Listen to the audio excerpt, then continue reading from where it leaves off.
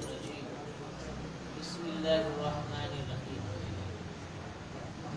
ألا إن أولياء الله لا خوف عليهم ولا هم يحزنون صدق الله المولانا العظيم وصدق رسوله النبي الكريم وقال الغوث الأعظم قطب الأكرم نور العين إمام القبلتين وسيلتان في الدارين غوث الثقلين غوث الأعظم شيخ أبو محمد محي الدين عبد القادر الجیلانی الحسن بن حسین علاجتی نبینا علیہ السلام قدامی حاجی علی رقابات کل ولی اللہ۔ و بلاد اللہ ملکی و تحت حکمی و مریدی لا تخاف اللہ ربی۔ اعوذ باللہ من الشیطان الرجیم، بسم اللہ الرحمن الرحیم۔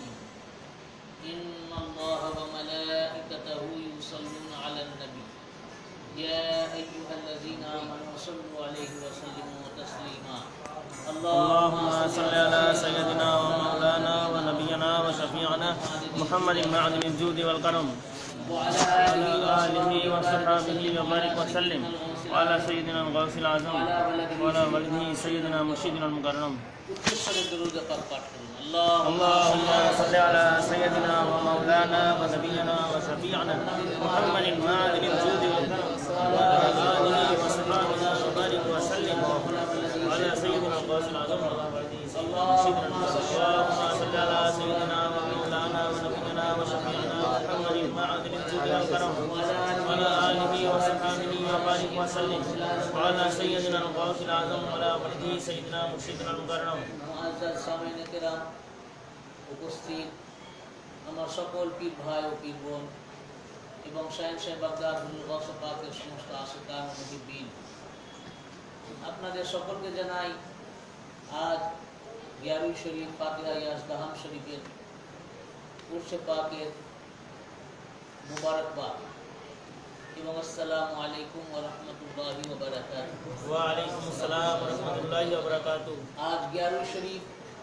پیران پیر، میران میر دستگیر روشن ضمیر، حضور غوث اعظم شاہد ابو محمد منی الدین عبد القادر جیلانی، الحسنی، الحسینی، البغدادی دین نبی جناب علیہ الصلوۃ والسلام ওনারা আজকে উর্স পাকের রাত বেশাল শরীফের রাত বেশাল শব্দের অর্থ হচ্ছে মহামিলন বেশাল মানে মহামিলন মহামিলন হচ্ছে کار সাথে اللہ پاکر সাথে اللہ پاکر সাথে এই দিনে ওনাদের মিলন হয়, মিলিত হয়ে যায়। এনারা তো আহলে বাইতে গ্রাম আছেন এসেছেন আল্লাহ তালা থেকে। আল্লাহ পাকের নূর, আল্লাহ নিজের নূর থেকে হুজুর সাল্লাহ ইসলামের নূরকে সৃষ্টি করেছেন। সেই নূর থেকেই সব আহলে ব্যাগ পাকটা এসেছে। সেই নূর প্রথম দুভাগ হয়ে হলো, একবার হজরত আবদুল্লাহ আলাহ ইসলামের কাছে এলো। এরপর হাদিসে পাক আছে, আমি অনেকবার বলেছি। এক ভাগ হজরত আবু তালিব আলাহ ইসলামের কাছে আসলো। আবদুল্লাহ আলাহ ইসলামের নূর থেকে রসুল পাক আবু তালিব আলাহ ইসলামের নূর থেকে মোল্লা আলী আলাহ ইসলাম এই দুই নূর থেকে হুজুর থেকে খাতুনা তাহার পাক আসলেন। খাতুনা তাহার পাকের সাথে মৌলাই কায়নাত পাকের শাদি মুবারক হলো। এই দুই নূর থেকে আবার হাসনাইন কারামাইন আলহিমাসাল্লাম আসলেন। আবার ইমাম হুসেন আলাহ ইসলাম থেকে আউলাদ পাক জারি হলেন। ইমাম হাসান আলাহ ইসলাম থেকেও জারি হলেন। কিন্তু আমাদের যে সিলসিলা, এই গস পাক এই সিলসিলাটা কীভাবে এলো, একটু আমি বলেছি এই ব্যাপারেও আমি আগে।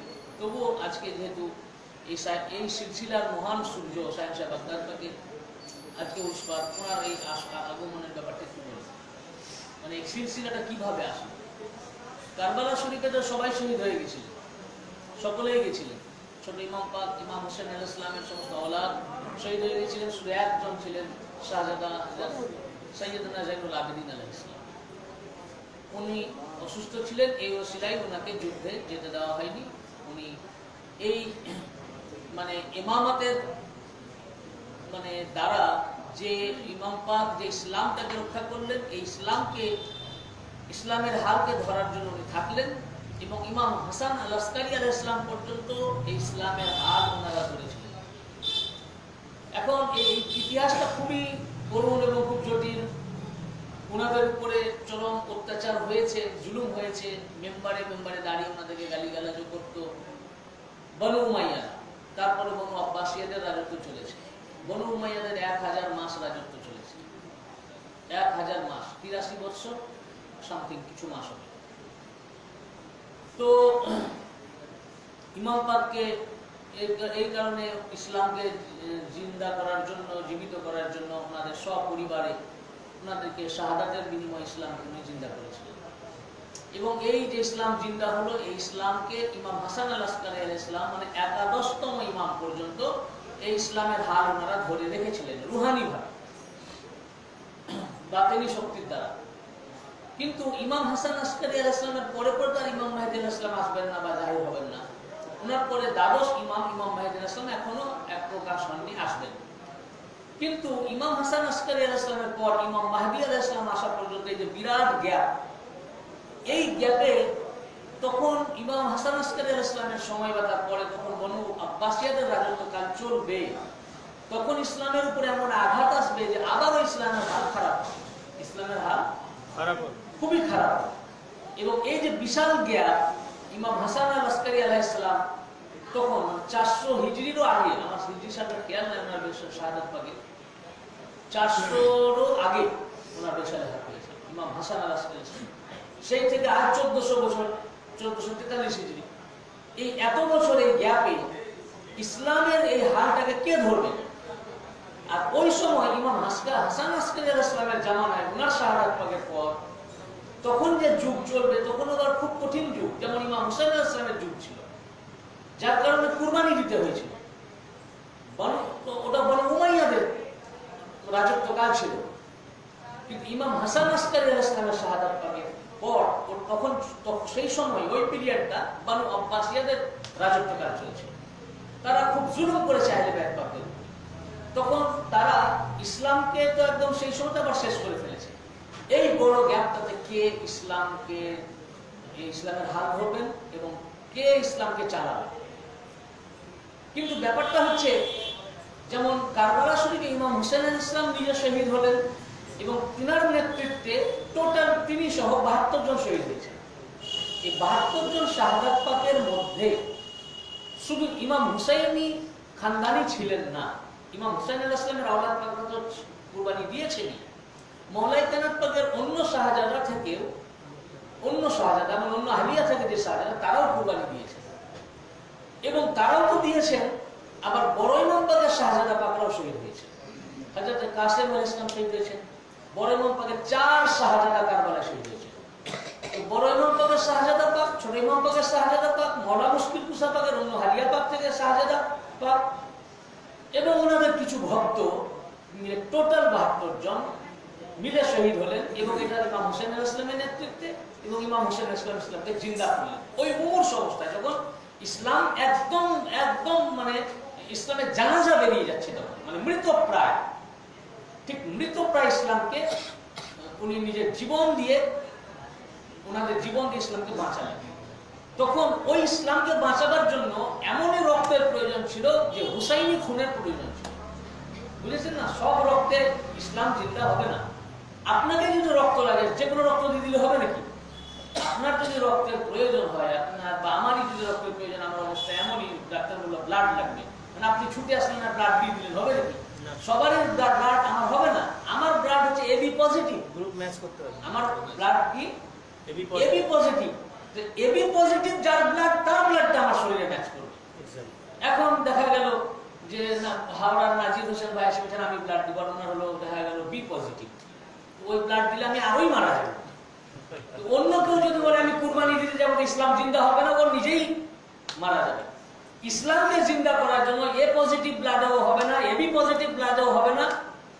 ওই ব্লাড লাগবে ওই ব্লাডের গ্রুপের নাম যে যে- গ্রুপ কোন গ্রুপের সাথে ম্যাচ করবে না। ওই গ্রুপের নাম হচ্ছে হাসানি হুসাইনি গ্রুপ? হাসানি হুসাইনি গ্রুপ এই গ্রুপের ব্লাড লাগবে ইসলামকে বাঁচাবার জন্য। এই জন্য তো কাউকে নিয়ে যাননি এই জন্য অনেকে যেতে চেয়েছিল। প্রতিমধ্যেও কারবালা শরীফ যাওয়ার সময় রাস্তাতে অনেকের সাথে দেখা হয়েছিল। তারা যেতে চেয়েছিল, উনি নিয়ে যাননি এবং এক ওনার ভক্ত রাস্তায় যখন দেখা হলো বললেন হুজুর, আপনি একটু আমাকে অবকাশ দেন। আমি আমার কমের কাছে যাই, আমি বিশ হাজার আমি সেনা আমি নিয়ে আসব আপনার জন্য। আমার কম থেকে আমি নিয়ে আসব।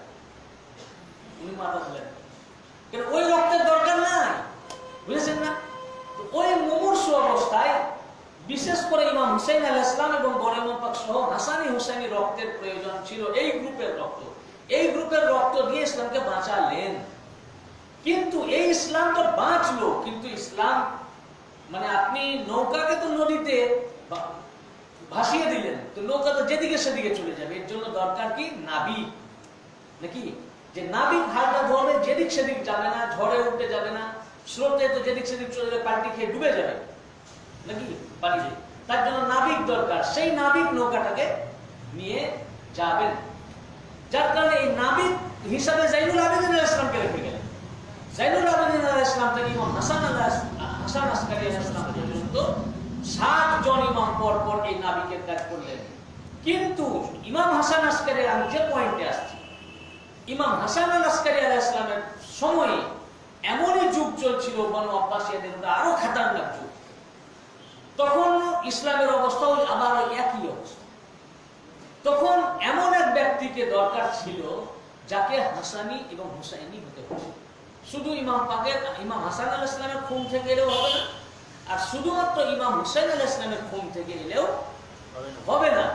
এই জন্যই বড় ইমাম হুসাইন আলাহ ইসলাম কারবালা শরীফে যাওয়ার আগে বড় ইমাম পাকে এক শাহজাদাকে রেখে গেছে একজন।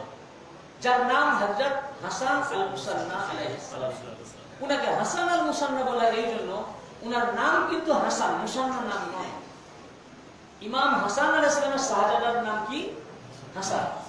উনার থেকে কোনো হাদিস রেওয়ায়াত করা হয় তাহলে এইভাবে বলা হয় আন- আন হাসান ইবনে হাসান। হাসানের পুত্র হাসান করে। বুঝেছেন না? মুসান্না শব্দটা হাদিসের রেওয়ায়েতে আসে মুসান্না এই জন্য বলা হয় যে উনার চেহারা মুবারক হুবহু ডিটো উনার আব্বা যান বড় ইমাম পাকের মতো। ইমাম হাসান আল ইসলামের মতোই দেখতে ছিল। এই জন্য ওনাকে বলা হতো হাসান আল মুসান্না বা হাসানে মুসান্না মানে দ্বিতীয় হাসান। এর অর্থ কি?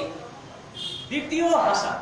এই হাসান আল ইসলামের শাহজাদা দ্বিতীয় হাসান উনাকেই রেখে উনাকে নিয়ে যান কারবালা। কেন? যে ইনার থেকে আওলাদ আসতে হবে আমার বড় ভাইয়ের খানদান।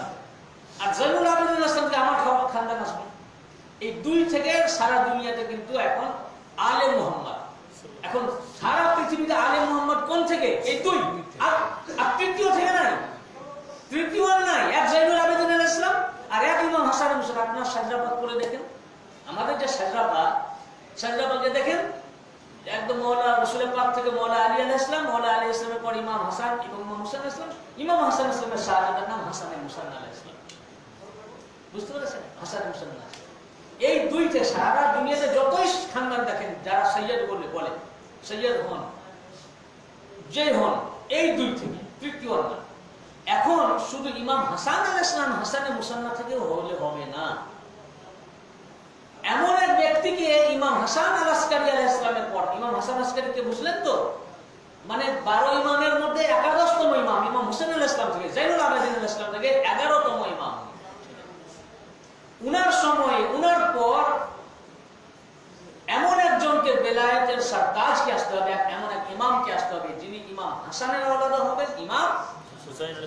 দুজনে এই জন্য সব খানদানকে নিয়ে গেলেন কারবালায়।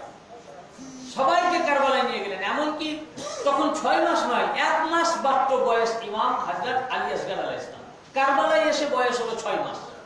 কারবালায় এসে বয়স কত হলো যখন মদিনা শরীফ থেকে নিয়ে যাচ্ছেন, বার হচ্ছেন, তখন এক মাস পিছু। এক মাসের বাচ্চা তাকেও নিয়ে গেছে। ওখানে পৌঁছে ছয় মাস হলো। কিন্তু এক শাহজাদিকে নিয়ে যাননি, তার নাম ফাতমা সুগরা এদিকে এক শাহজাদার নাম হাসান, হাসানের ছেলে হাসান আর এক শাহজাদির নাম তার দাদি জানের নামে ফাতেমার পুত্নী ফাতমা। বুঝতে পারলেন? তার নাম ফাতমা। সুগরা বলা হয় এই জন্য সুগরা নাম নয়। বুঝতে হবে যেমন মুসান্না নাম নয় সুগরা নাম নাম ফাতেমা যে ইমাম হুসেন আসলামের শাহজাদা পাকদের নাম একজন নাম কি? আহ, জাইনুল আবেদিন জৈনুল। আবেদিন নাম নয়। এটা হচ্ছে ওনার উপাধি নাম ওনার নাম আলী। জি। কারবালায় একজন শহীদ হলেন ইমাম পাকের শাহজাদা তার নাম আলী আকবর। কি নাম? আলী আকবর। আরেকজনের নাম আলী। আকবরও নাম নয় আসগারও নাম নয়। নাম- আলী। উনি বড় বলে বলা হতো আলী আকবর মানে বড় আলী। সব আকবর মানে সবচেয়ে বড় সবচেয়ে বড় আলী। আর উনি সবচেয়ে ছোট ছিলেন বলে এই আলীর নাম আলী আসগার মানে সবচেয়ে ছোট আলী। আর জাইনুল আবেদিন আলাহ ইসলামের নাম ছিল আলী আউসা কি নাম ছিল? মানে মাঝের আলী। তো ইমাম হুসাইন আলাহ ইসলামের তিন শাহজাদার নামই আলী। আলী নামটা এত পছন্দ। আলী তো আলী। আলী তো আলী। আলী মানে উঁচা। তো তিন শাহজাদারই নাম উনি রেখেছিলেন আলী। বড় শাহজাদার নাম আলী, মেজো শাহজাদার নাম মাঝের শাহজাদার নাম আলী, ছোট শাহজাদার নাম আলী। বুঝেছেন না? আর শাহজাদির নাম ফাতেমা। আর শাহজাদি ছিলেন সাকিনা। সাকিনা আল ইসলামকে নিয়ে গেলেন। কিন্তু ফাতেমা নামের যে শাহজাদি তাকে রেখে গেলেন। কেন ফাতেমি আওলাদ জারি হতে হবে এই ইসলামকে রক্ষা করার জন্য বুঝলেন না মৌলা আলী আলাহ ইসলাম উনার আম্মার নাম ফাতেমা। তো প্রথম ফাতেমি আওলাদ শুরু হলো মৌলা আলী থেকে। মৌলা আলী হচ্ছেন ফাতেমি আওলাদ। উনার আম্মা জানের নাম ফাতেমা। ফাতেমা বিনতে আসাদ আসাদের কন্যা ফাতেমা। নাম ফাতেমা। বুঝেছেন না? তো মৌলা আলী আলাহ ইসলামের আম্মা জান ফাতেমা। তো ফাতেমি আওলাদ শুরু হলো আলী থেকে। ইসলামের যে প্রথম ইমাম প্রথম ইমাম এলেন ফাতেমা থেকে। আবার ওনার আহলিয়া পাক এবং বড় ইমাম পাক ছোট ইমাম পাকের আম্মা যান তার নাম ফাতেমা। সেখান থেকে আওলাদ জারি হলো ফাতেমি। আবার যে রস পাককে আসতে হবে, তাকেও হতে হবে ফাতেমি। তার জন্য যে শাহজাদিকে রেখে গেলেন, তার নামও ফাতেমা। যাকে বলে ফাতেমা সুগ্রা। ফাতেমা সুগ্রা মানে সুগ্রা মানে ওটাই একই। আসগার থেকে সুগ্রা, আসগার মানে যেমন ছোট, সুগ্রা মানে ছোট মানে ছোট ফাতেমা। বুঝেছেন না? খাতুনে জান্নাত পাক হচ্ছেন ফাতেমা, কুবরা, বড় ফাতেমা। আর ইনি হচ্ছেন ফাতেমা, সুগ্রা, ছোট ফাতেমা। মানে উমর মুবারক ছোট। বুঝতে পেরেছেন না? তো উনি ওনার শাহজাদি ফাতেমা সুগ্রা আলাইহিস সালামকে রাখলেন আর বড় ইমাম পাকের শাহজাদা হাসানের মুসান্না এই বড় ইমাম পাকের শাহজাদা হাসানের মুসান্না আলাইহিস সালামের সাথে ফাতেমা, সুগ্রা, ছোট ইমাম পাকের শাহজাদি শাদি মুবারক হলো। এই যে হাসানি আর হুসাইনি, হাসানি হুসাইনি গসপাকের আব্বাজান, বড় আবু সালে মুসা, জঙ্গি দোস্ত, আল ইসলামের যার সাথে শাদি হয়েছিল, তার নাম ফাতেমা হ্যাঁ? গসপাক যাকে আসতে হবে, তার নাম আম্মা জানের নাম ফাতেমা। কি উম্মুল খায়ের? ফাতেমা এসানি। উম্মুল খায়ের নাম নয়। এটা ওনার লাকাব মানে সমস্ত মাদের মধ্যে উত্তম যিনি, তাকে বলে উম্মুল খায়ের। উত্তম মা। বুঝেছেন না? আর ফাতেমা সানি সানি মানে দ্বিতীয়, ফাতেমা মানে ফাতেমা মানে নামটা কিন্তু ফাতেমা। তো গস পাকের আম্মা জানের নাম ফাতেমা। বুঝছেন না? হাজরত আব্দুল্লাহ মাহাজ মানে হাসান মুসান্না ইসলামের শাহজাদার নাম আব্দুল্লাহ মাহাজ আমাদের পাকের পূর্বপুরুষ। তার আম্মার নাম ফাতেমা। ইমাম হাসান মুসান্না ইসলামের আম্মার নাম ফাতেমা। মৌলা আলী ইসলামের আম্মার নামও ফাতেমা। মানে ঠিক ঠিক জয়েন্ট যে জায়গাগুলো জয়েন্ট ঠিক ঠিক সেই জায়গায় ফাতেমা। ফাতেমা থেকে আলাদা। বুঝেছেন না? তো গসপাকের আব্বা যেন আবু সালে মুসা জঙ্গি দোস্ত আলাহ ইসলামের শাদী হয়েছিল, ইমাম হুসেন ইসলামের খানদান থেকে যে মেয়ের সাথে, যে মহিলার সাথে, যে শাহজাদির সাথে তার নাম ফাতেমা। এই আবু সালে মুসা জঙ্গি দোস্ত আলাহ ইসলাম এবং হাজরত ফাতেমা দুজনের শাদী প্রভাবিত হতে যে শাহজাদা আসলেন তিনি গসপা আমরা অনেকের ধারণা তখনই হাসানি হুসেনি হলেন না। হাসানি আর হুসেনি সেই আগে প্রথম যেখান থেকে মানে মোহনা তৈরি হয়েছে। মোহনা বলে দেখি ওই জায়গায়। যে ইমাম হাসান আল ইসলামের শাহজাদা মুসান্না আর ইমাম হুসাইন আল ইসলামের শাহজাদি ফাতেমা সোহরা এই দুইজনের মুবারক হলো। এই দুইজনের মুবারক থেকে হাসানি আর হুসাইনের ব্লাড এক হয়ে গেল। ওই থেকে যা ওনার জারি হলো, এই নবীটার নাম আল হাসানি আর হুসাইন। এই হাসানি আর হুসাইনি খানদান থেকে গাছ হাসানি হুসাইনি সেদিন থেকে জানি। হলো এই জন্য যেমন হাজরাতে ইব্রাহিম আলাইহিস সালাম বলেছিলেন, হে আল্লাহ, তুমি আমাকে রব্বানা হে আল্লাহ আমাকে মুসলমান উন্নত রাখো। আমাকে একদম ইসমাইল দুজনকে তুমি মুসলমান বানাও। জুররিয়াতি এবং আমার জুররিয়াতের ভিতর থেকে উম্মাতান মুসলিমাতান লাক। তোমার জন্য মুসলমান উম্মাত বানাও। এই জন্য আমার জুরিয়াতকে মুসলমান বানাও যে ওই খানদানে তুমি আখেরি রাসূলকে প্রেরণ করো। মানে এই খানদানে আখেরি রাসূল আসবেন। যেহেতু এই খানদানে আখেরি রসুল আসবেন, তা আখেরি রসুল কখনো কাফির আর মুশরিক বংশে আসবেন না। এই জন্য যে খানদানের ভিতরে উনি আসবেন, এই খানদানের ভিতরে আখেরি নবীকে আনার জন্য এই নদীটাকে আগে মুসলমান রাখো। এই খানদানটাকে এই নাহারকে, এই জুরিয়াতকে, এই চেনকে এই বংশটাকে আগে মুসলমান বানাও। এই বংশকে মুসলমান রাখো এই কারণে যাতে এই- বংশে উনি আসবেন তাই। অনুরূপ অনুরূপ ইমাম হাসান আল্লাহ ইসলামের সাহেবরা হাসানের মুসান্না এবং ইমাম হুসেন আলাহ ইসলামের কন্যা ফাতেমা সুগরা দুজনের স্বাধীন মুবারকের দ্বারা আগে থেকেই হাসানি হুসাইনি জুরিয়াত তৈরি করা হলো যাতে হাসানি হুসাইনের সাজরা সাজরা বুঝতে পারলেন তো? হাসানি? বলুন সবাই।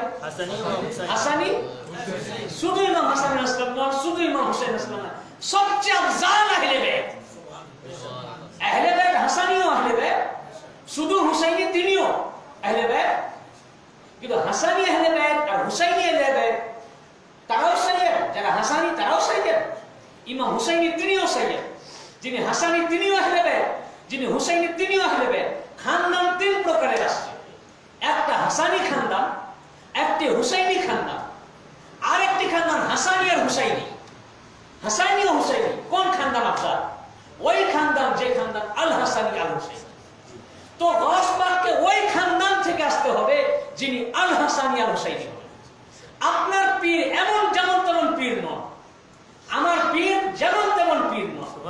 এই যে খানদান এই সাজরা পরে আমাদের যে সাজরা শুনি সাজরায় সাজারায় সাজরায় কাদেরিয়া রাজ্জাকিয়া জাকেরিয়া জাকেরিয়া মেহরিয়া মুর্শিয়া মু- মুর্শিদিয়া মুস্তারশিদিয়া রশিদিয়া রশিদিয়া এই যে সাজরা পা আপনার পীর আপনি যে কোনো কামেল ওলিকে পীর পেলে আপনার নসিব যে উনি আল্লাহর ওলি আল্লাহর ওলি মানে আল্লাহ মাহবুব বন্ধু আল্লাহর বন্ধু মানে যে চারটিখানি কথা না তাকে পীর পাওয়া আবার কোন সৈয়দকে পেলে আরও তো ভালো হাসানিকে পেলে আরও ভালো হুসাইনিকে পেলে একই ভালো। কিন্তু আপনার পীরের সাজরা এমনই উনি না শুধু হাসানি না শুধু হুসাইনি আপনার মুর্শিদে মেদিনীপুর দরবার চার নম্বর দরবার পাক বড় হুজুর পাক গস পাক এই যে সিলসিলা এটা হচ্ছে আল হাসানি আর হুসাইনি পৃথিবীর মতো সর্বশ্রেষ্ঠ খানদান আফজালুল আহলে বাইত সুবহানাল্লাহ সুবহানাল্লাহ সর্বশ্রেষ্ঠ হেলে দেয় সর্বশ্রেষ্ঠ। যেমন তাদের মনাবাদ তো লিখেছেন এই জন্য, রস পাকের জন্য। হ্যাঁ যে উনি, যত খানদান পাকেছে তার মধ্যে রস পাক হচ্ছেন আফজালুল ফার্দ শ্রেষ্ঠ ফার্দ আছেন, শ্রেষ্ঠ ব্যক্তি শ্রেষ্ঠ খানদান আছেন, শ্রেষ্ঠ হেলে ব্যয় আছেন। দেওয়ান পাকের মধ্যে, ইয়া রাসূলুল্লাহ মানে যে গোলা মুজকো এটার মধ্যে আছে। বুঝেছেন না? সর্বশ্রেষ্ঠ। গস পাক খানদান পাকে আসলেন। এই জন্য যে এই ইসলামের হালকে ধরতে গেলে এমন আওলাদকে আসতে হবে যিনি হাসানি এবং মুসলিম। আওলাদ ইসলামকে বাঁচাতে পারবে না। ইসলাম শ্রেষ্ঠ আর শ্রেষ্ঠ ইসলামকে জীবন দেওয়ার জন্য শ্রেষ্ঠ ব্যক্তি এবং শ্রেষ্ঠ খানদান শ্রেষ্ঠ জুরিয়াত থেকে আসতে হবে। যার কারণে যার কারণে রসপা যখন দুনিয়ায় আসলেন এবং রাস্তা দিয়ে যখন যাচ্ছিলেন, তো কান্নার আওয়াজ পান পেলেন জঙ্গলের ভিতর দিয়ে বাগদার শরীফ আসছিলেন বাগদার শরীফ অভিমুখে যাচ্ছিলেন আওয়াজ শুনে উনি যখন জঙ্গলের ভিতরে প্রবেশ করলেন, তো দেখছে যে এক জীর্ণ শীর্ণ রোগা ব্যক্তি শুয়ে আছে আর কাঁদছে। তার উঠে বসার শক্তিও নাই।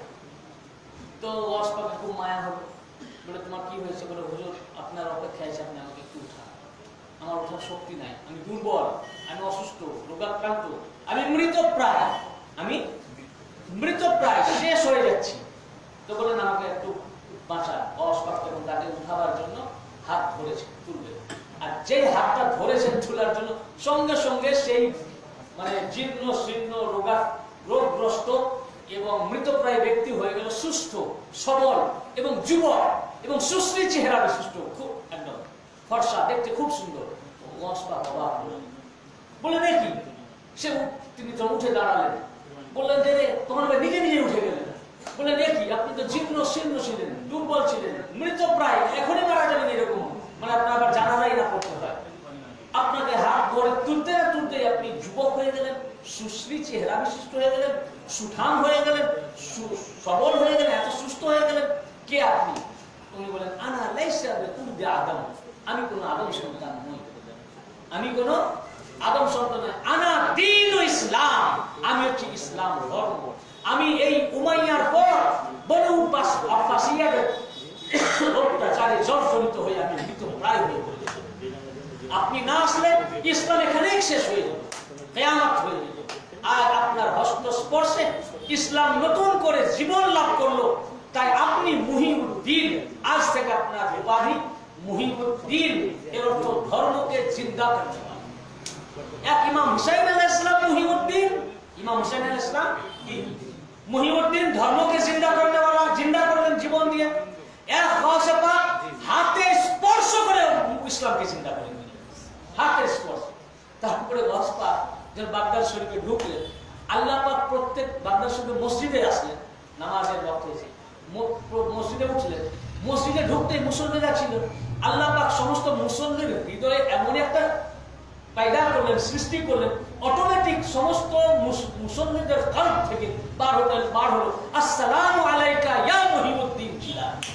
কেউই জানতো না এর নাম মহিউদ্দিন। অটোমেটিক্যালি আল্লাহ পাকের কুদরত থেকে সকল মুসল- মুসল্লির জবান থেকে আল্লাহ পাক জাহির করে দিলেন। তারা জানতোই না। সেদিন থেকে ওই নামটা হলো। ওই দিনকে চিন্তা করলেন বলেন আপনি মুহিউদ্দিন। মসজিদে ঢোকার সাথে সাথে সবাই সালাম বিচার সালাম আলাইকা ইয়া মুহিউদ্দিন জিলানি। বুঝলেন না? বস বা কবা হলেন যে এনারা আহ, সবাই আমাকে মুহিউদ্দিন নামে ডাকছে। সেদিন থেকে সবাই আমাকে মুহিউদ্দিন নামে ডাকতে এই ধর্মকে জিন্দা করলেন ধর্মকে জিন্দা উনার পর থেকে উনার আওলাদ পাকরা ধর্মকে জিন্দা করে আসছেন। জিন্দা করে আসিতেছেন করে চলছেন। করছেন না? ধর্মকে জিন্দা করা কি? ধর্ম দিচ্ছেন। ধর্ম দিচ্ছে। এই যে ভারত ভারত ধর্ম ছিল, ইসলাম ছিল, ইসলাম তো ছিল না। ভারতে ইসলাম ছিল না। ইসলাম কি করে মৌলবি সাহেবরা আনলো এই মাথায় পুটলি হারিয়ে করেছি নিয়ে। ইসলামটা কীভাবে এলো? হুজুর অসপাক যখন বলেন কাদামি হাজিরি আর কাবাতে করলে বলিয়াল্লাহ হুজুর অসপাকের কদম পাকের সাক্কাই হিন্দে ইসলাম এসেছে। কদম পাকের আমার এই কদম প্রত্যেক অলির গার্দানে এটা আমি অনেকবার বলেছি।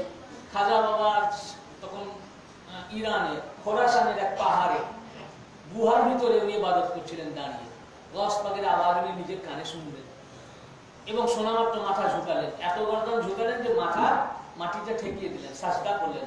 আর বললেন কি, বল কদাম, কদামুকা আলা আইনি ওয়া রাসি, বল কদামুকা আলা আইনি ওয়া রাসি, বল কদামুকা আলা আইনি ওয়া রাসি। বরং আপনার কদম পাক আমার চোখের উপরে এবং মাথার উপরে, আপনার কদম পাক আমার চোখের উপরে, মাথার উপরে। আপনার কদম পাক আমার চোখের উপরে এবং আমার মাথার উপরে। সমস্ত অলির গর্দানে বলেছেন কদম পাক। আর উনি বললেন, আমার গর্দানে কেন? আপনার কদম পাক আমার চোখের উপরে এবং আমার মাথার উপরে। এতে রসবা খুব খুশি হলেন। বললেন, তুমি আমার প্রতি যে এত সম্মান করেছ, এর কারণে আমি তোমাকে এমন একটা মর্যাদা দান করলাম, তোমাকে হিন্দের সুলতান বানিয়েছি। চলে যাও। সুলতান। তো হিন্দে চলে আসেন। হিন্দে পাঠালেন কে? রসবা যদি না পাঠাতেন আজ পর্যন্ত না খাজা বাবা আসতেন, না হিন্দে আজ পর্যন্ত ইসলাম। তো রসপাক খাজা বাবাকে হিন্দে পাঠালেন, যাও হিন্দে ইসলামের প্রচার করো, ইসলাম প্রেরণ করো, দিন কায়েম করো। তো দিনকে কায়েম করলেন কে? এই যে ধরুন, আমাকে হুজুর এখানে ওয়াজ করতে পাঠিয়েছে। আমি এখানে ওয়াজ করতে এসেছি।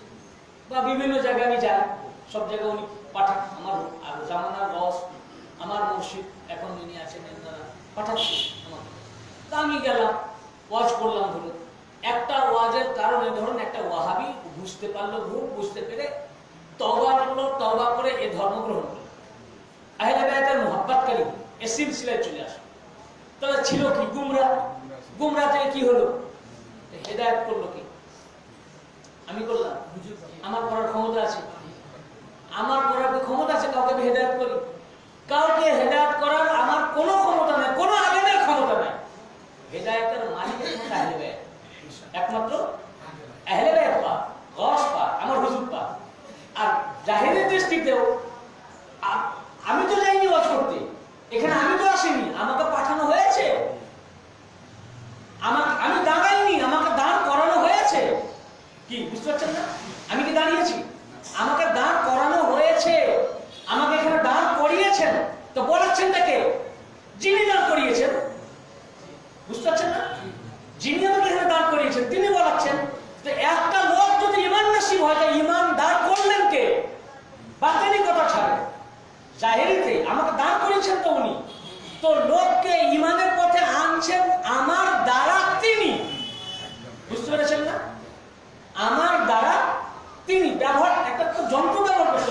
সাপ এনে। এখানে একটা সাপ চলে এসেছে। তো সাপটাকে আপনি মারবেন কেন? মারতে তো হবে। মারার জন্য একটা যন্ত্র ব্যবহার হবে কি? সেই যন্ত্রটার নাম হলো লাঠি। নাকি? যন্ত্র লাগবে। এমনি মার মার বলে তো মরে যাবে না।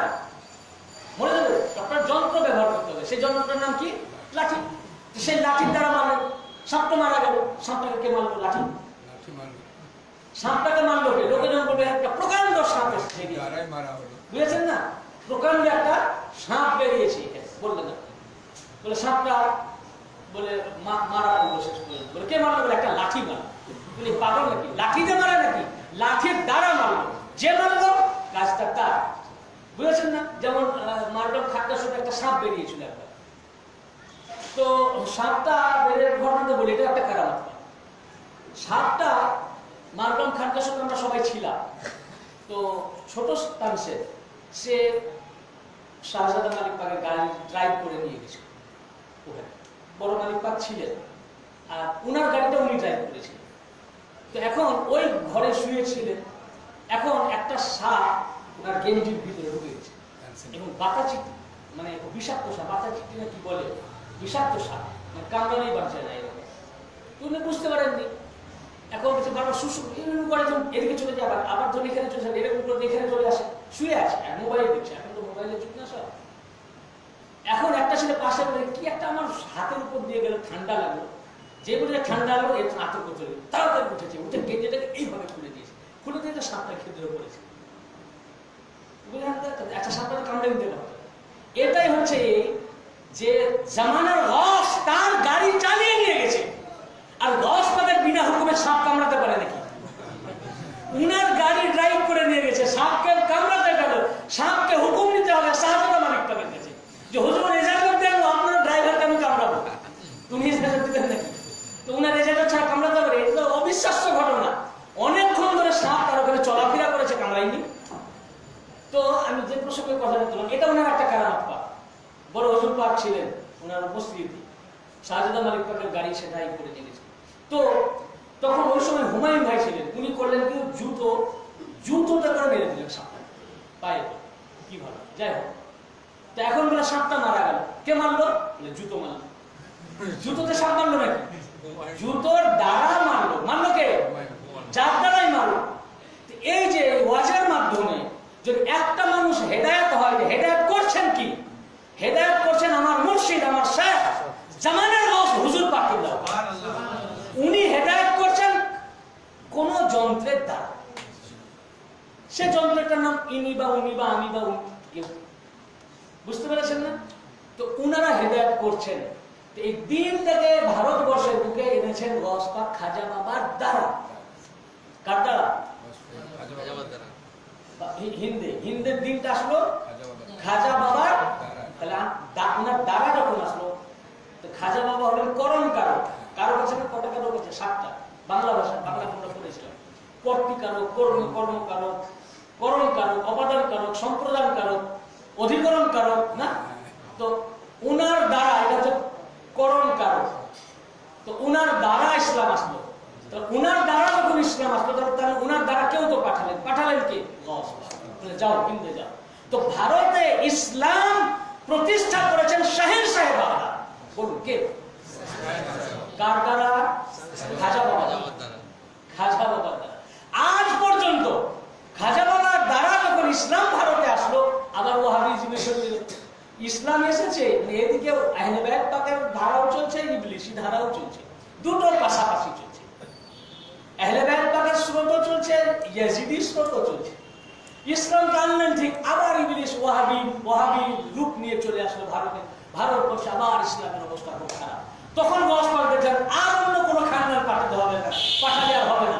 এমন ভারতের অবস্থা, ইসলাম থাকবে, কিন্তু ইসলাম আবার ইয়াজিদি ইসলাম রূপে থেকে যাবে। কি ইসলাম? ইয়েজিডি ওয়াহাবিজম চলে আসছে এই ওয়াহাজি ওয়াহাবিজমকে ভারত, বাংলা, বিহার, উড়িষ্যার বুক থেকে ওয়াহাবিজমকে খতম করতে গেলে আম কোন ওলি বা আম খানদান বা শুধু হাসান হুসেনকে পাঠালে হবে না। পাঠাতে হবে আমার আওলাদকে। কাকে? আমারই আওলাদ পাককে হুজুর বাসারা হুকুম করলেন উনার আওলাদ পাক ছিলেন তখন সিরিয়ায় কোথায়? সিরিয়ার হামা শরীফে। সৈয়দনা হযরত আব্দুল্লাহ আল জিলানী আলাইহিস সালাম উনাকে হুকুম করলেন হে আমার আওলাদ আব্দুল্লাহ আল জিলানী আলাইহিস সালাম আপনি যান। আর উপায় নাই। আমি তো খাজা মঈনুদ্দিনকে পাঠিয়ে হিন্দে ইসলাম ইসলাম তাবলীগ করে দিয়েছি ছড়িয়ে দিয়েছি। আবার ইবলিস ওয়াহাবিজমের মাধ্যমে ইসলামটাকে আবার খারাপ করে দিয়েছে। এখন আর ওখানে অনেক অলি গেছেন কিন্তু তাদের দ্বারা আর হবে না। এখন আপনাদেরকে যেতে হবে, আমার খানদানকে যেতে হবে, আমার অলবকে যেতে হবে, হাসানি হুসাইনিকেই যেতে হবে, কাকে? আল হাসানি আল হুসাইনিকে, আব্দুল্লাহ জিদের ইসলামকে বললেন, আপনার শাহজাদাকে নিয়ে যান, দুই শাহজাদাকে নিয়ে যান, দুই শাহজাদার মাধ্যমে বাংলা, বিহার, উড়িষ্যায় আবার ইসলাম নতুন রূপে হবে। নবজীবন এক জিন্দা করলেন কে? ইমাম হুসাইন আলাহ ইসলাম জীবন দিয়ে। গস পাক জিন্দা করলেন লাকাব হলো গস পাক ভারতের ইসলামকে জিন্দা করলেন আব্দুল্লাহ জিলি আল ইসলামের শাহজাদা সৈয়দুল সৈয়দ শাহ জাকির আলী কাদের ইসলাম এবং সৈয়দুল সৈয়দ শাহ রওশন আলী কাদের চার শাহজাদাকে নিয়ে আসলেন। এই ঘটনা জানা আমি মঙ্গলকোট পাটিয়ালা করে বলেছি চার শাহজাদার মধ্যে বড় শাহজাদা সৈয়দ সৈয়দ শাহ জাকির আলী কাদের ইসলামকে মঙ্গলকোট শরীফে রাখলেন। আর বিহারকে দেখভাল করার জন্য পাঠালেন ছোট বাগ সৈয়দ নজর সৈয়দ শাহ রওশন উনি দেখতে লাগলেন বিহার আর যে বাংলা উড়িষ্যা। উড়িষ্যাতে ওনার অনেক পরিবার ছিল। বাংলা, বিহার, তারপরে আপনার ওই ইউ- ইউপি, সারা ভারতে মৌলাপাকের মুড়িদান ছিল। বুঝেছেন? না? ইউপিতে উত্তরপ্রদেশে একটা গ্রাম আছে মুর্শিদাবাদ। তখন তার নাম মুর্শিদাবাদ ছিল। সেই এখন শহর হয়ে গেছে। সেখানে মৌলাপাকের এক ওখান থেকে বুলান শহর থেকে, তিনার নাম, তিনার আসল বাড়ি বুলান শহরও নয়, ওনার বাড়ি অন্য জায়গা। উনি বুলান শহর থেকে এসেছিলেন মৌলাপাকের কাছে, বায়াত হয়েছিলেন এবং মৌলাপাক তাকে বেলায়াত দিয়েছিলেন। বেলায়াত দিয়েছিলেন, শাহ সাহেব। তারপরে ওখানে পাঠিয়ে দিয়েছিলেন তুমি ওখানে যাও ওখানে গিয়ে করো ইউপিতে ওখানে উনি বসবাস শুরু করলেন। এটা তাস্কেরা মৌলা কেতাবের মধ্যে আছে। এবং উনি যাওয়ার পর ওই গ্রামের নাম চেঞ্জ করে উনি রাখলেন মুর্শিদাবাদ, কারণ উনার পীরের নাম ছিল মুর্শিদ আলী আল কাদরি আলাইহিসসালাম যেহেতু উনার পীরের নাম মুর্শিদ আলী আল কাদরি আল ইসলাম তার পীরের নামে গ্রামের নাম লিখেছিলেন মুর্শিদাবাদ, যেটা এখন শহর। বুঝতে পারছেন না? মুর্শিদাবাদ এখনও সেখানে আছে। তো সারা ভারতে ওনার মুরিদ ছিল। তো গসে সানি পাক আর হাজরত থেকে গেলেন মোহাম্মদ শরীফে। আর সেদিনে শেষ রসন আলী কাদি আলাহ ইসলাম দুজনকে দুই জায়গাতে যেতে হলো। উনি ওই জঙ্গলে অনেক দিন কাটিয়েছেন, ওখানে থেকেছেন, সেখানে। তারা আবার নতুন করে ইসলামকে জিন্দা করে। বললেন না গসের এই ওকে আছে? তাজকে মুসাক্কিরাই কুতুবুল আলম ফার্সিতে লেখা। শাহ জিয়াউর রহমান শাকুলপুরি তিনার লেখা কিতাব মুজাক্কিরাই কুতুবুল আলমিন। এই কিতাবের মধ্যে লিখেছেন যে স্বামীবাগ যখন আসলেন মঙ্গলকোট শরীফে, তখন সব আলেমরা সব আসলো ওই যে ওনাকে ধরবো না মিলাদ করছেন করছেন মাজার পাক, জিয়ারত করা, চাদর পাক চাপানো, চাদর সাজদা করা, এইসব ইত্যাদি ইত্যাদি। সব আলেমরা সব এসেছে। এসে উনি তখন অজু ফরমাচ্ছিলেন ওয়াক ছিল সম্ভবত নামাজ পড়ার জন্য। তো বললেন আচ্ছা নামাজের পরদের সঙ্গে দেখা। নামাজ পড়লেন, পড়ার পরে হুজুর বসলেন, তাদেরকে ডাকলেন, তারা চারিদিক থেকে ওনাকে ঘিরে বসে সব আলেম। বড় বড় সব আলেম। আল্লাহ বড় বড় দাড়ি তাদেরকে দেখেই ভয় লাগবে লস তার মাঝখানে বসে রয়েছে। ওনাকে ঘিরে সব বসেছে। তখন ওরা সব প্রশ্ন শুরু করল। যে, এই যে আপনি কিয়াম করছেন, মিলাদ করছেন, কোথায় জায়েজ আছে? মিলাদ জায়েজ কোথায়? কিয়াম জায়েজ কোথায়? হাজির নাজির কি করে সম্ভব? ওনার তো বেসারে হাত হয়ে গেছে। উনি মদিনা শরীফে শুয়ে আছেন। উনি এখানে কি করে হাজির হবেন? এই নানান প্রশ্ন। যখন প্রশ্ন শুরু করল, তো গসা শারিফার উত্তর না দিয়ে উনি শুধু মাথা থেকে ঝুঁকালেন, যেন ইশারা করে কাউকে যেমন করে কাউকে ডাকে। তো ওইভাবে মাথা ঝুঁকাতেই এক বয়স্ক মানে লম্বা চওড়া এবং চার দাড়ি, ঘন দাড়ি আর কি, খুব বড় না, এক ব্যক্তি উনি মজলিসে আসলেন। মজলিস ভেদ করে ভিতরে ঢুকে রসে সানি পাকে কদম পাকে কপাল এবং চোখ মুখ রাখলেন চুমু অপরিচিত সবাই দেখলেন এত বড় আলেম উনি কোথা থেকে আসলেন? অপরিচিত ব্যক্তি। তখন রসে সানি পাক বললেন, তোমাদের যা প্রশ্ন, ইনার কাছ থেকে জেনে ইনাকে জেনে তখন তারা প্রশ্ন করল, একটা একটা করে প্রশ্ন করল, প্রথমে মিলাদের প্রশ্ন করল ট্যামের প্রশ্ন যেমন যেমন প্রশ্ন করে, তিনি খুব সুন্দর সাবলীল ভাষায় উইথ রেফারেন্স এবং লজিক দিয়ে সুন্দরভাবে তাদেরকে বুঝিয়ে দিলেন এবং তারা উত্তরে সন্তুষ্ট। তারা সন্তুষ্ট এবং তারা সব বুঝিয়ে দিল যে না, ঠিক। এবং তার উত্তরে তারা খুব মানে চমৎকৃত হলো তারা। এত সুন্দর উত্তর দিলেন। তখন তারা জানতে চায়। তারপর যখন উত্তর হয়ে গেল বলে আর কোনো প্রশ্ন আছে তোমাদের? না, আমরা সব প্রশ্নের উত্তর পেয়ে গেছি, আমরা জেনে গেছি, বুঝে গেছি, আমাদের আর নাই। তখন গসা সাহেব ইশারা করলেন, ইশারা করে তিনি গায়েব হয়ে তখন জিজ্ঞাসা করলেন, উনি কে? আপনি তো বললে পারতেন। তো আপনি না বলে উনি আসলেন ওনাকে জিজ্ঞেস করতে বললেন আর উনি উত্তর দিলেন। তখন গসা সাহেব বললেন, তোমরা তো ফিকে হানাফির উপরে চলো।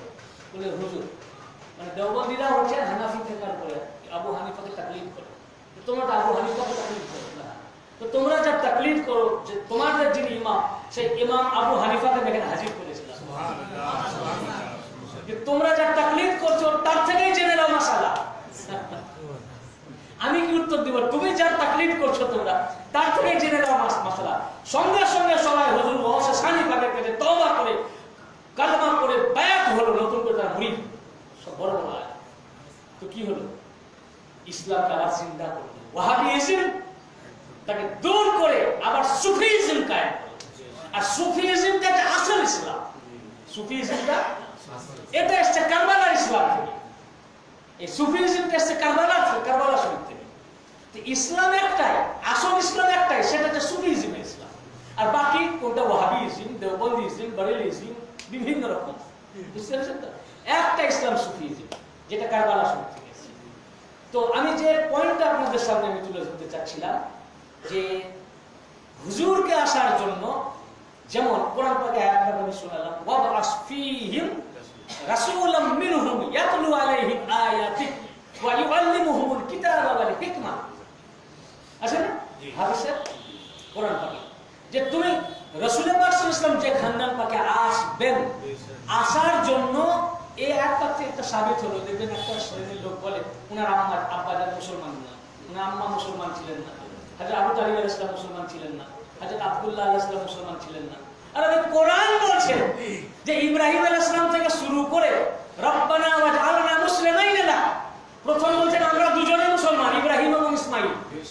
আমাদের দুজনকে মুসলমান বানাও। কি বলছে? ওয়াজআল আমাদেরকে বানাও। মুসলিমাইন এলাকা তোমার জন্য মুসলমান দুজনকে। ওয়া এবং ওয়ামিন জুররিয়াতিনা উম্মাতান মুসলিমাতান এবং আমার জুররিয়াতের ভিতর থেকে একটা বংশকে মুসলমান রাখো।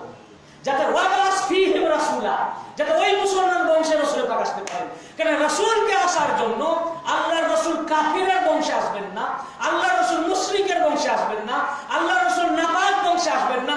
উনাকে আসার জন্য উনি যে চেনের ভিতর থেকে আসবেন যে পুরো চেনকে মুসলমান হতে হবে। অর্থাৎ আল্লাহ তাআলা কোরআন থেকে আয়াত নাযিল করে এস্টাবলিশ করে দিলেন। ইনারা ছিলেন মিল্লাতে ইব্রাহিমাই। রাসূল পাকের আব্বা জান দাদা তারাব্বা তারাব্বা আদম আলাইহিস সালাম থেকে পুরা চেন ইনারা দ্বীনের উপরে ছিলেন এবং ইব্রাহিম আলাইহিস সালাম থেকে হযরতে আব্দুল্লাহ আলাইহিস সালাম এবং আবু তালিব আলাইহিস সালাম পর্যন্ত ইনারা মিল্লাতে ইব্রাহিমে ছিলেন। আর এই মিল্লাতে ইব্রাহিমার নাম কি? ওয়া মিন যুররিয়াতিনা উম্মাতান মুসলিমাতান লাক যে পুরা যুররিয়াত মুসলমান। তো কোরআন বলছে হযরত আব্দুল্লাহ আলাইহিস সালাম মুসলমান, আমিনা আলাইহিস সালাম সালাম মুসলমান, আবু তালিব সালাম মুসলমান। কোরআনের এই আয়াতে যথেষ্ট হযরত আবু তালিব মুসলমান হযরত আব্দুল মুত্তালিব আলাইহিস মুসলমান। কোরআন বলছেন যে পুরা জুরিয়াতকে মুসলমান খানদানকে। কেন? হুজুরকে আসার জন্য মুসলমান হতে হবে।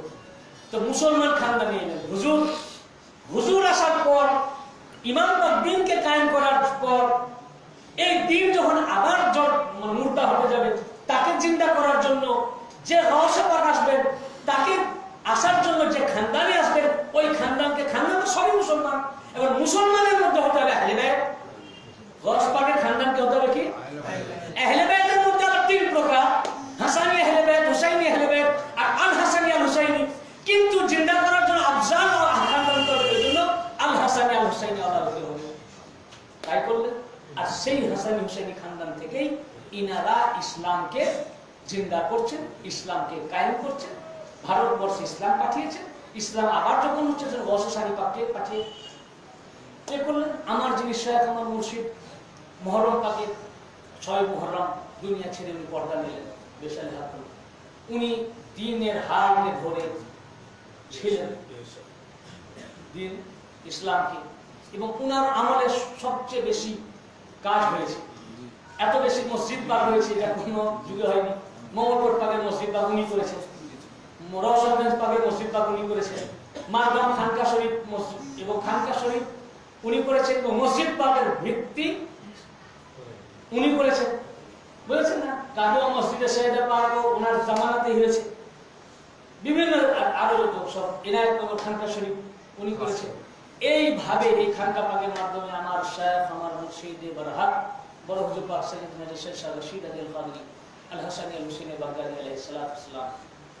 এই দিনকে, ইসলামকে কায়েম করেছে। কি করেছেন উনার পরে করবেন। কিয়ামত পর্যন্ত এইভাবে এই মাধ্যমে দিন কায়েম চলতেই থাকবে। কিয়ামত অব্দি চলবে। বুঝেছেন না? কিয়ামত পর্যন্ত দিন চলবে। প্রত্যেকটা ইনারা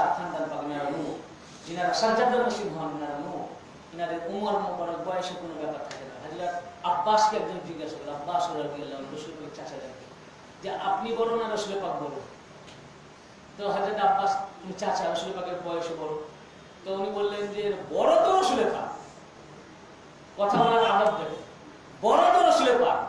তফাৎ হচ্ছে এই যে আল্লাহ পাক উনাকে পৃথিবীতে পাঠাবার আগে আমাকে পাঠিয়ে দিয়েছে। বুঝতে পেরেছেন?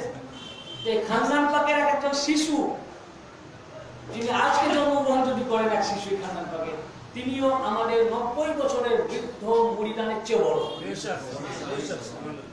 এবং উনারা উনাদের বাতেনি দৃষ্টি এবং বেলায়েতের দৃষ্টি দিয়ে সবকিছু দেখে শিশু হলো যদি পাঁচ বছরের শিশু হন ভাবছেন কিন্তু মাত্রা শেখাননি।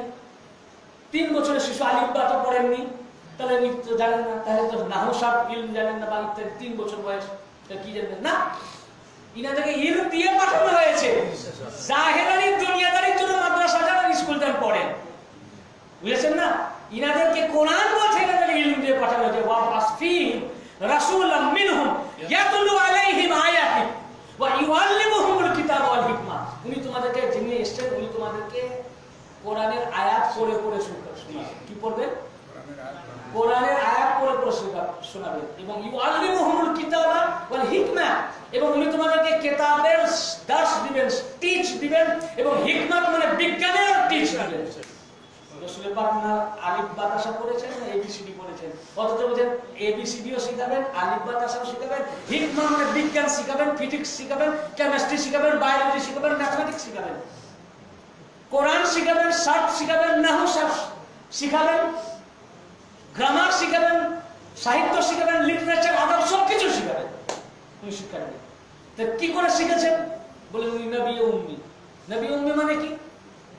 নবী উম্মি মানে পৃথিবীতে উনি যার কাছে, কারও কাছে পড়েন।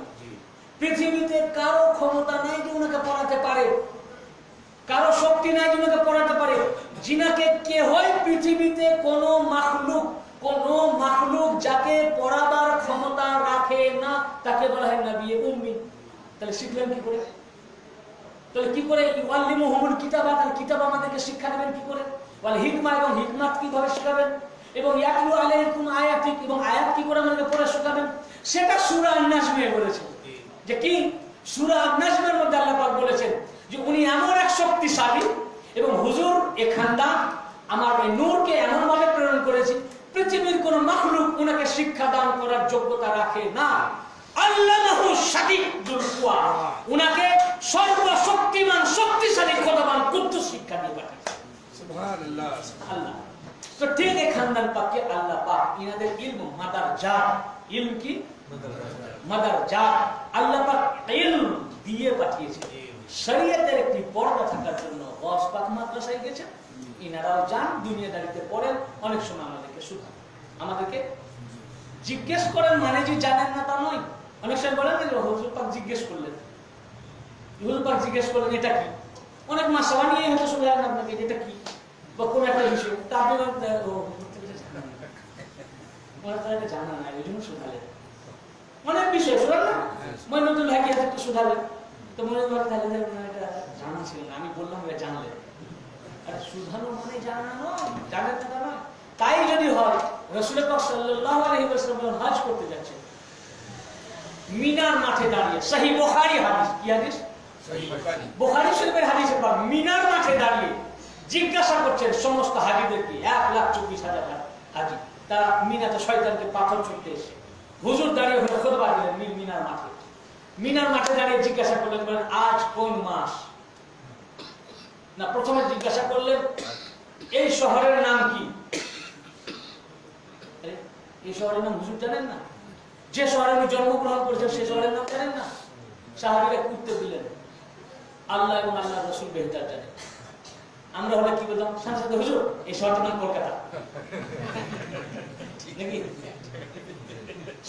তো জানেন যে হুজুর জানেন এটার নাম মক্কা। কিন্তু বললেন না যে এটার নাম মক্কা। বললেন আল্লাহ আল্লাহ, রসুল ভালো কেন? এই জন্য বললেন না মক্কা। কি জানি? উনি কি উদ্দেশ্যে জিজ্ঞাসা করেছেন উনি তো জানেন। উনি জিজ্ঞাসা করার উদ্দেশ্য কি? হয়তো উনার ইচ্ছা হয়েছে আজ থেকে এটার নাম মদিনা। তো যদি বলেন আজ থেকে এর নাম মদিনা তো এটার নাম আজ মদিনা তো এই জন্য ওনারা বলেন আল্লাহ আল্লাহ রসুল জানেন আর আমরা হলে কতক্ষণ আগে বলব ওনার জানা না। এটা জানা হুজুর, এই, বুঝেছেন না? আচ্ছা তারপরে জিজ্ঞাসা করলেন, এই মাসের নাম কি? এটা কোন মাস চলছে? বোখারি শরীফের হলো মানুষ হজ কোন মাসে করে? শরীফে? কোন মাসে? বলুন। আপনারা জানেন জিল হাজে হজ হয়। আর আল্লাহ রাসূল হজ করতে এসে জিজ্ঞাসা করছেন, এটা কোন মাহিনা? হুজুর, জানেন কোন মাস? আর সাহাবীরাও কি জানেন না যে এটা জিলহাজ সাহাবীরা তো বলে দিলেন হুজুর এটা জিলহাজ হয়তো সাহাবীরা ভাবতে পারেন যে হুজুর এই সময় হঠাৎ বেখিয়ালে উনি তো সারা দুনিয়া চালাচ্ছেন নাকি? হয়তো বেখিয়ালে উনি এটা শুধাচ্ছেন। তো হুজুর এটা জিলহাজ মাস। আমরা হলে কি বলতাম হুজুর পাক জিজ্ঞাসা করলেন হয়তো। হুজুর পাক শুধালেন যে কোন মাস চলছে? হুজুর, এটা রবির সময় আর আমরা চিন্তা কত আগে আমি বলতে পারব? তাহলে আমার উত্তরটা আমি অ্যাকসেপ্ট করব আমার, আমরা যদি উনি বলে দেন শিয়ানাতুল্লাহ ভাই বলে দেন তাহলে লোকে বলবে হজরত বলবে যে শিয়ানাতুল্লাহ বলেছে আগে বলার জন্য আমরা ফেলে আসব। আর যখনই বলে দিলাম বলে হুজুর করে খেয়াল ছিল না। আমরা আমি বললাম আমি স্মরণ করালাম। পরে যখন কথাটা আলোচনা হয় পরে আবার বাইরে এসে আলোচনা হয় না? আলোচনা হয়। তো বলে হুজুর বক্স হয়েছে কোন মাস তো বলবে যে, "এ, বলো আমি বললাম। বলবে বল আমার নামটা বল। সাহাবিরা কি বলছেন সাহাবিরা আল্লাহ আল্লাহ রসুলই ভালো জানেন। বললেন না জিলহাজ সাহাবিরাও জানেন হজ করতে এসছেন এটা জিলহাজ মাস। বললেন না জিলহাজ। কারণ, এই জন্য বলছেন আমরা জিলহাজ বললাম না। কারণ, আল্লাহ রসুলের কি ইচ্ছা, উনি জানেন, ওটা তো আমি জানি না। আল্লাহ আল্লাহ রসুল জানেন। যদি ওনার ইচ্ছা হয় যে এই মাসের নাম মুহররম, যদি উনি জবান করতে বলে দেন, আজ থেকে আমরা গণনা করব এটা মুহররম। এই ছিল ওনাদের আকিদা, আর আমাদের আকিদা দেখেন। বুঝেছেন না? তো এই যে হুজুর জিজ্ঞাসা করলেন যে এটা কোন মাস, উনি জানেন না কোন মাস? আবার কি খালি কোন মাস? জিজ্ঞাসা করছেন আজ কোন দিন? বললেন, আজ কোন দিন? কত তারিখ? তো আজ তো কাঁকড় ছুটতে এসেছে, কুরবানি। কুরবানি করছে। কুরবানি দিলে যদি জিজ্ঞাসা করা হয়, আজ কত তারিখ? তো লোকে পাগল বলবে কিনা? তো কুরবানি হচ্ছে, সবাই হুজুর তো দশ তারিখ।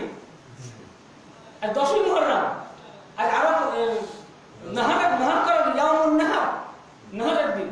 বললেন না আজকে ইয়ামুন নাহার আল্লাহ আল্লাহ রসুল তো আল্লাহ রসুল জিজ্ঞাসা করলেন, তার তুমি জানেন না জিজ্ঞাসা করা মানে যে জানেন না, তা নয়।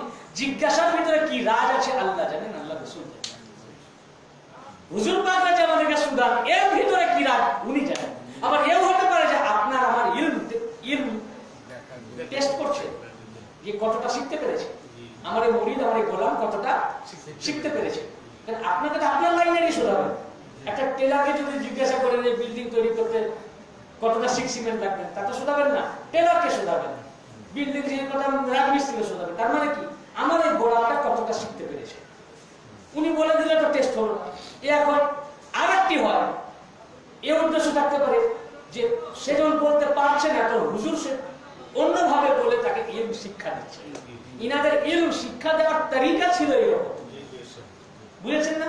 এরকম এক ধরনের কথা আছে, হাদিসে পাক এসছে রসুলের পাকের ওনারা কাউকে কখনো যখন শিক্ষা দেন, এইভাবে বলে নাই তুমি জানো না।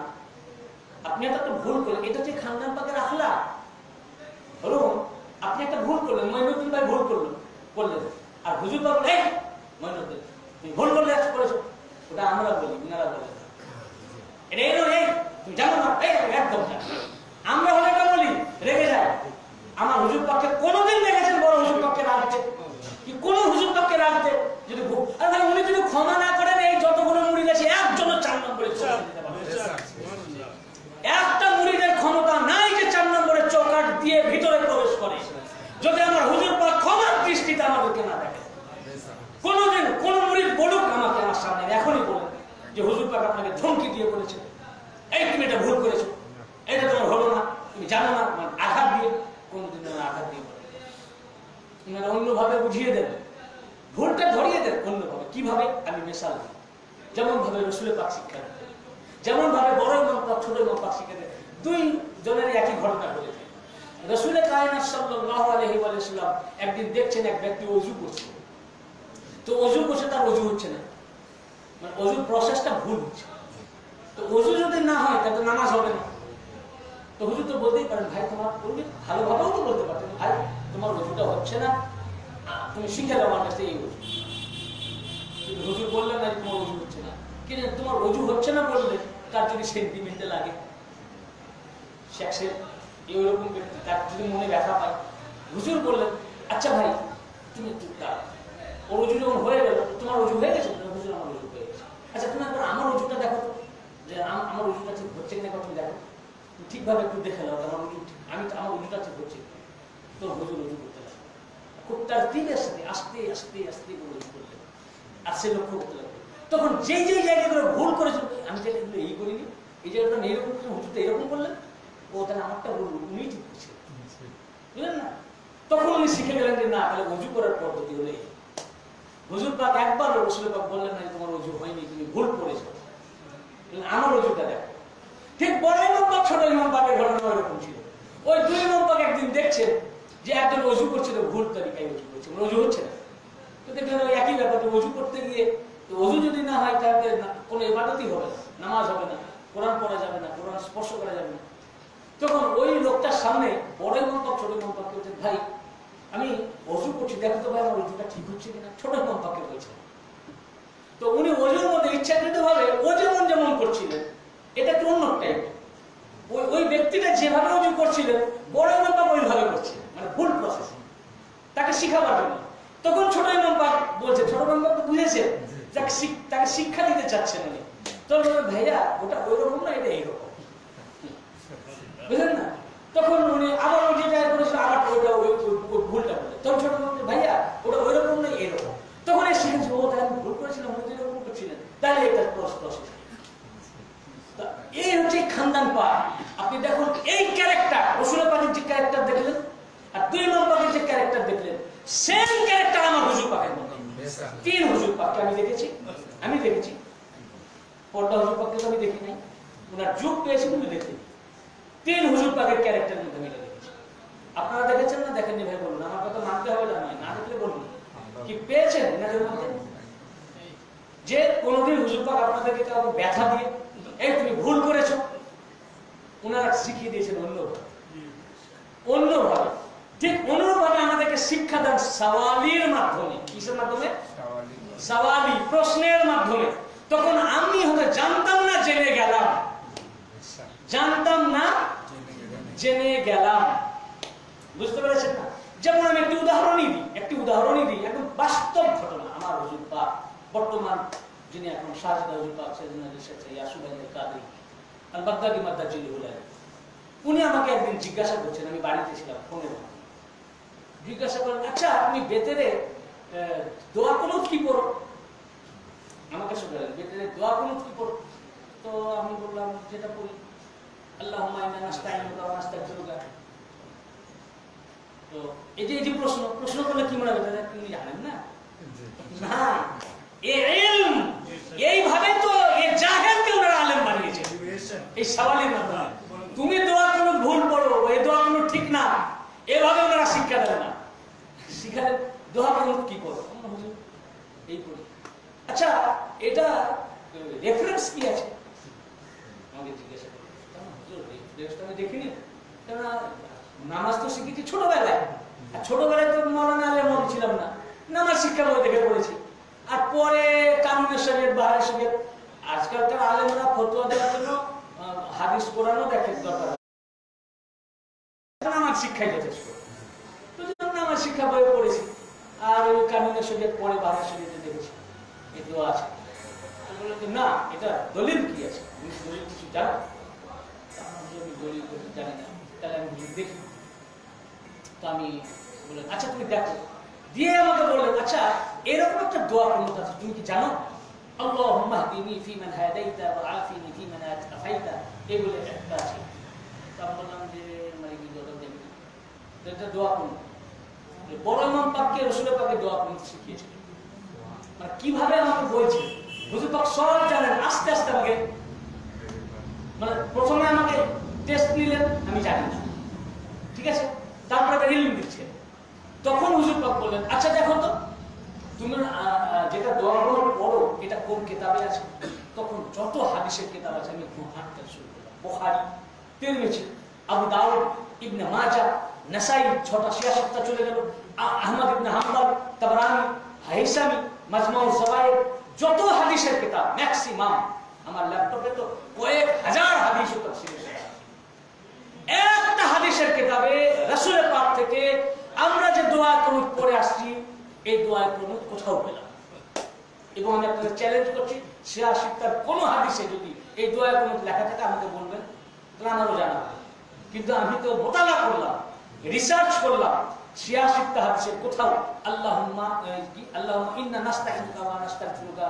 যে দোয়া পড়া হয়, এই দোয়া শিক্ষা হাদিস কোনো জায়গায় নেই।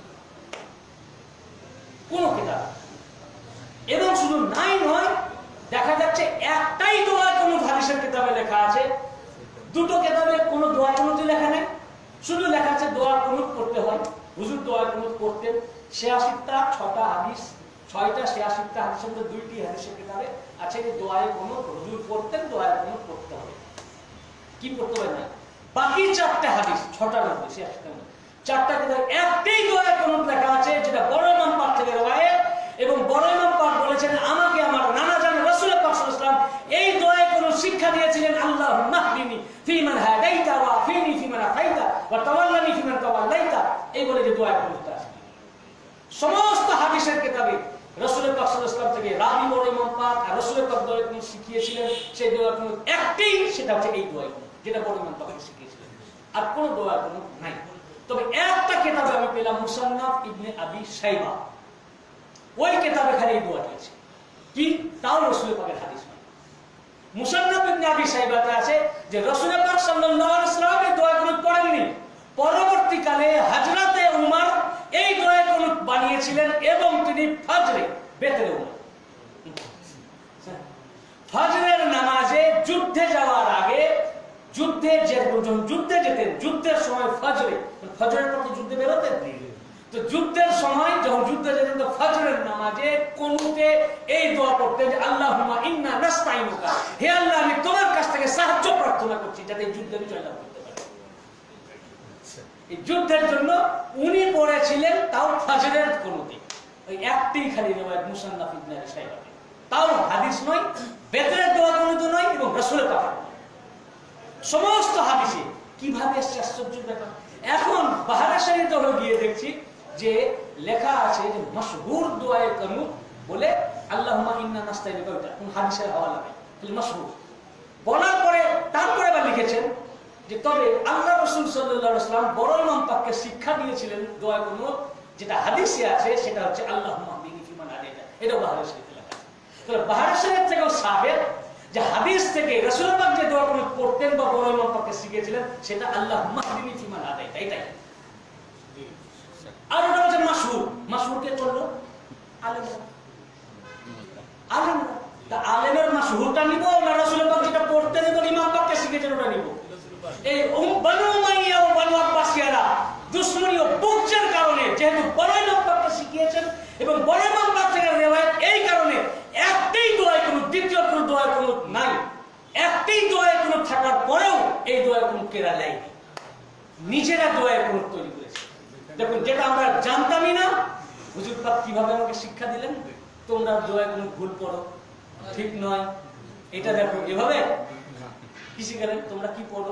প্রথমে মনে হচ্ছে কি? তাহলে জানেন কতটা ওনারা ইলম রাখেন শিক্ষা দিলেন কীভাবে মুরিদানদেরকে বিনয়তার সাথে গোলামকে শিক্ষা দিচ্ছে যে এইভাবে তোমারও কাউকে শিক্ষা দিতে হলে বিনয়তার সাহায্য সব শিক্ষা দাও। তো ওনাদের উমর মুবারক কম হলো। দেখুন এই দয়া আমরা বড় বড় পণ্ডিত মুফতি মুহাদ্দিস ফকিহ ওমর দারাজ আশি নব্বই বছর বয়স্ক মুহাদ্দিস মুফাসসির ফাঁকি আমরা কেউই দোয়া করুন জানতাম না। আমার শাহজাদা মালিক পাকে দোয়া করুন, জানেন কোন কোন হাদিসের কিতাব আছে তাও জানেন, কিন্তু তিনি না বলে আমাকে দিয়ে রিসার্চ করে বার করা কারণ কি? উনি বলে দিলেই তো পারতেন। এই হাদিসে আছে, বললেন না কেন? আমার ইলম হবে। আমি রিসার্চ করব তো ইলমটা হবে, মনে থাকবে। নাকি? আপনাকে বলে দিলে মেমোরিতে থাকবে না রিসার্চ করে যেটা পাবেন তো থাকবে যার কারণে ওই ওনাদের এই এই যে তরিকা শিখাবার যে তরিকা দান করার যে তরিকা, উনি শিখেছেন ওনার মুর্শিদের কাছে ওনার আব্বার কাছে। ওনার আব্বা জানের কাছে এবং ওনার চাচা যান ওনার মুর্শিদ যিনি তার কাছ থেকে। তিনি শিখেছেন তার আব্বার কাছে, তিনি শিখেছেন তার আব্বার কাছে। এটা খানদানি আখলা দেখবেন এখন যারা আছেন বা বড় হুজুর পাক ছিলেন, ইনাদের প্রত্যেকের আখলাক আখলাকের রাসূল। আখলাক আখলাকের শাহেনশাহ বাগদাদ আজম আখলাক, আখলাকে মৌলা পাক আখলাকে হাসান ও হুসাইন। বুঝতে পারছেন না? আমি ঠিক, বোঝাতে পারছি কি পারছি না এমনি তো বোঝা যাবে না, কিন্তু ইনারা হচ্ছে কত গভীর জ্ঞান এবং শুধু এই খালি শরিয়তি ইলম নয়, এটা তো আমি শরিয়তি ইলম ব্যাখ্যা করলাম যে ইনাদের কত শরিয়তের জ্ঞান দেবো আজ থেকে আমরা আমরা এখন দয়া কোনো যেটাই করি, জানতাম না আমরা বড় ইমাম পাচ্ছি এটা কাদেরি বেঙ্গল তারপরে আপনার সিলসিলে কাদেরিয়া এবং ফেসবুক এটা ছয়টা করে না হ্যাঁ এটা দিয়ে দেওয়া ওটার কোনো নাই। আমি একজনকে জিজ্ঞাসা ডাইরেক্ট না করিয়ে খুব বড় মানে সেখানে বড় আমাদের বলছি না কেন সে জিজ্ঞাসা করলাম যে, দোয়া কোনো আমরা কি পড়ব? তো উনি এক কথা বললেন, ওইটা আল্লাহ হয় না তখন আমরা বললাম আমি আবার বলে দিলাম যে এই হাদিস পাকে, এই আছে। তো হাদিস পাকে আছে, কিন্তু আমরা তো এটা এটা তো মাসুর আছে না, এটা করতে হবে, এটা আমরা করি এটাই আহলে সুন্নাত এইভাবে বোঝায়। বোঝানোর পর যখন আমি বাহারের শরীয়তের পাকা কপি করে, এই ছবি করে পাঠিয়ে দিলাম, ওনাকে দিলাম ওনাকে বাহারের শরীয়ত এই যখন বাহারের শরীয়তটা দেখলেন, বাহারের শরীয়ত তার মানে যখন আছে, তাহলে তো যাবে। তো আপনি দুটোর মধ্যে একটা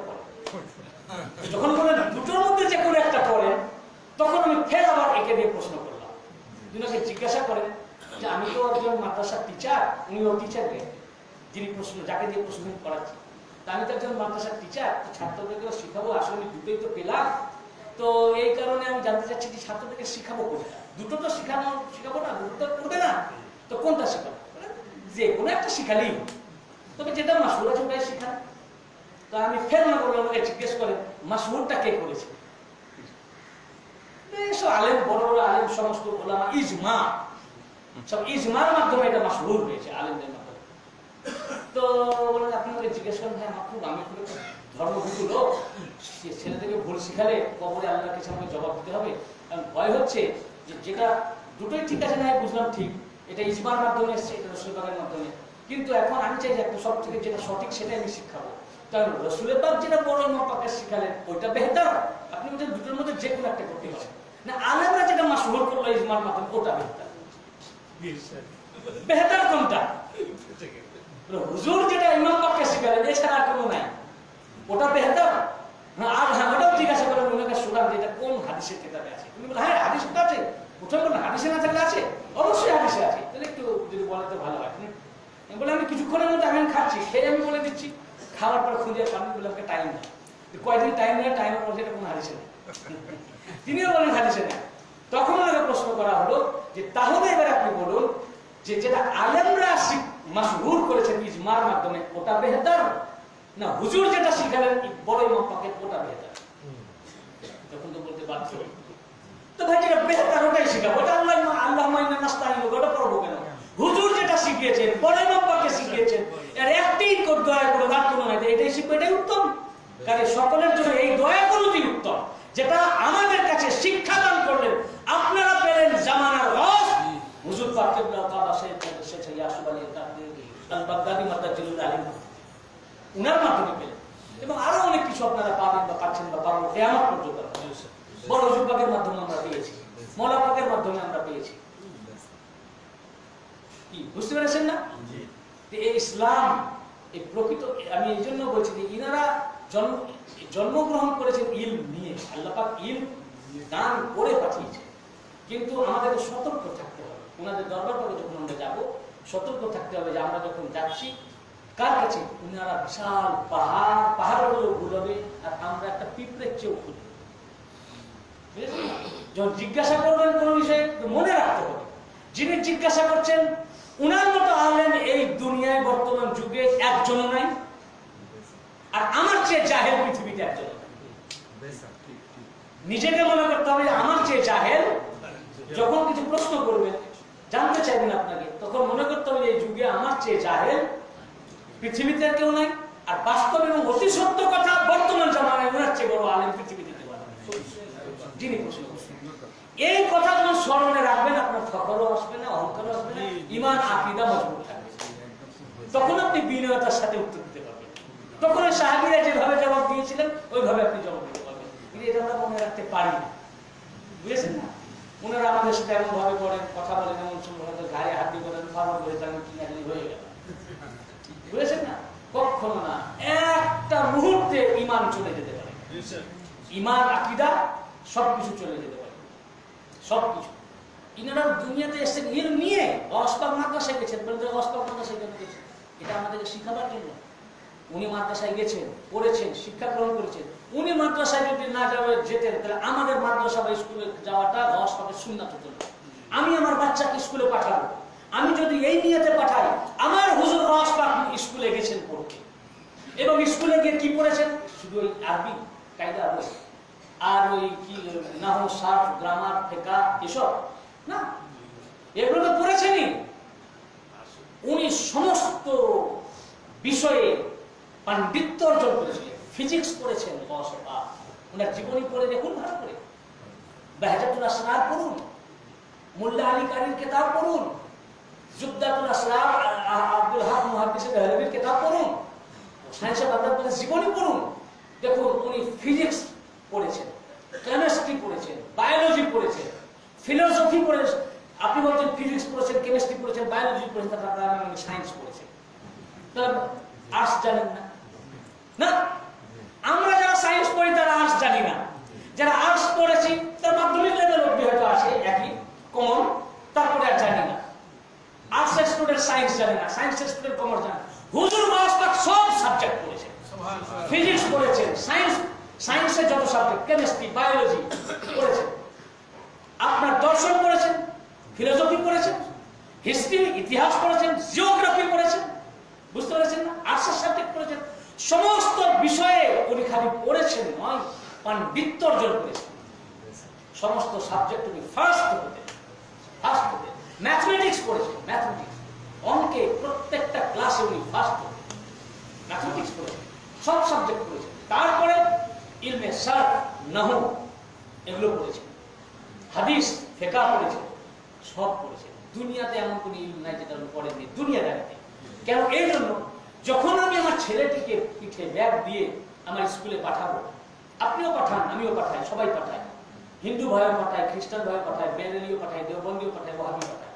আপনি যখন পাঠাবেন এই নিয়তে, আমাদের নিয়তটা কিন্তু অন্য। আমি পাঠাচ্ছি যে আমার ছেলেটাকে স্কুলে পাঠাবো যে ভালো করে পড়ালেখা করবে ইংরেজিতে কথা বলা শিখবে বিদেশ যাবে চাকরি বাকরি করবে অনেক টাকাই ভাই আপনি স্কুলে পাঠিয়েছেন ও শিক্ষা অর্জন করবে তো এমনিতেই করবে। নিয়তকে কেন খারাপ করছেন ভাই? আপনি পাঠালে তো করবেই যদি ওই মেরিটটা থাকে। আপনি নিয়ত করলেও করবে আর নিয়ত পড়াবেন তো আপনি আপনার ছেলেকে। কিন্তু নিয়ত যদি করেন আমি তার আমার ছেলেকে পাঠাবেন এই জন্য আমার মাওলা সায়েন্সে বাগদাদ পাক স্কুল গেছে। উনি স্কুল গেছে উনি পড়েছেন তা আমার বয়সে পাকা সুন্নাত আমার জন্য আমার ছেলেকে পাঠালাম। আমার ছেলেও গেল ওই নিয়তে। তো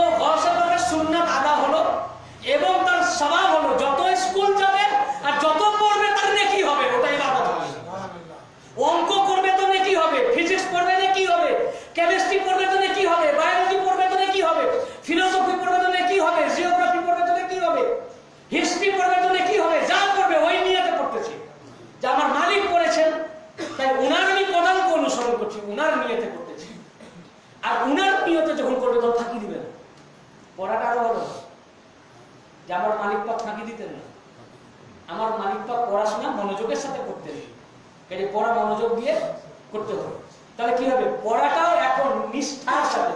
পড়া? তাহলে নিয়ত ভালো হলো, আপনার পড়া আরও নিষ্ঠার সহিত হবে, যখন আপনার একটু বড় হবে, বাচ্চা তো বুঝবে না।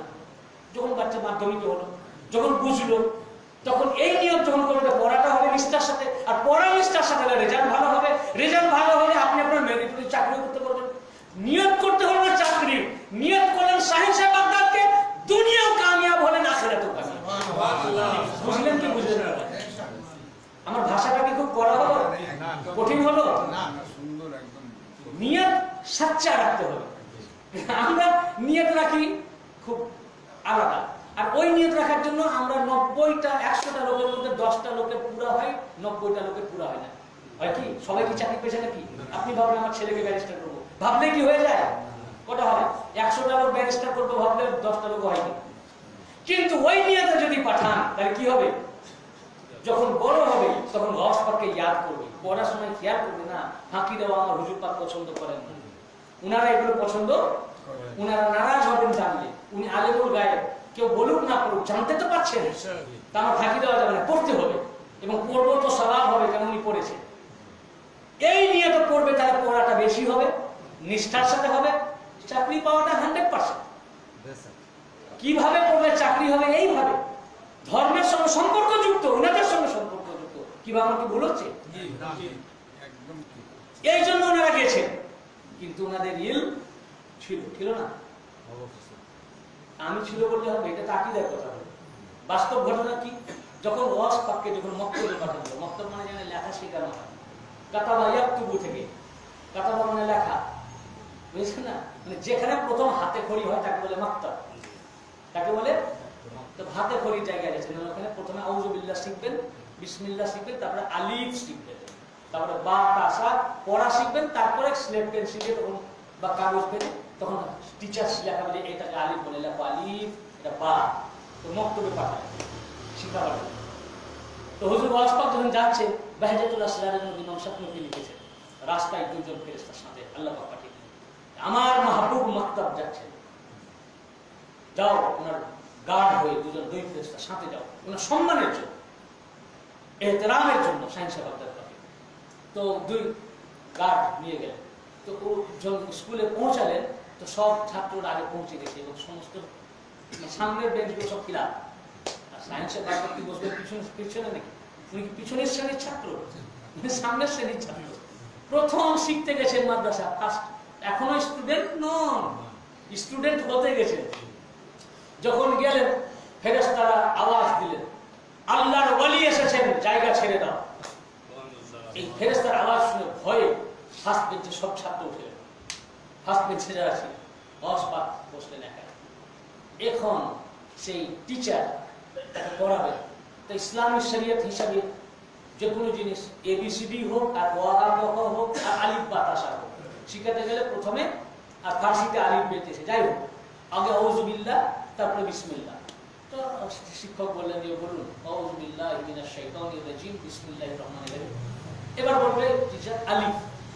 হুজুর বলেন আউযুবিল্লাহি মিনাশ শাইতানির রাজিম বিসমিল্লাহির রহমানির রহিম। তবে থেমে যাওয়ার কথা ছিল। এবার টিচার বলবে আলিফ। তখন বলবেন আলিফ। বিসমিল্লাহির রহমানির রহিম বলে আলিফ তো দূরের কথা পুরা ধরে নিলেন কোরআন। ধরে নিলেন কি? আরে আলিফ বা কায়দা আম্মামারা এসব বাদ দিয়ে ধরে নিলেন একদম ডাইরেক্ট কোরআন।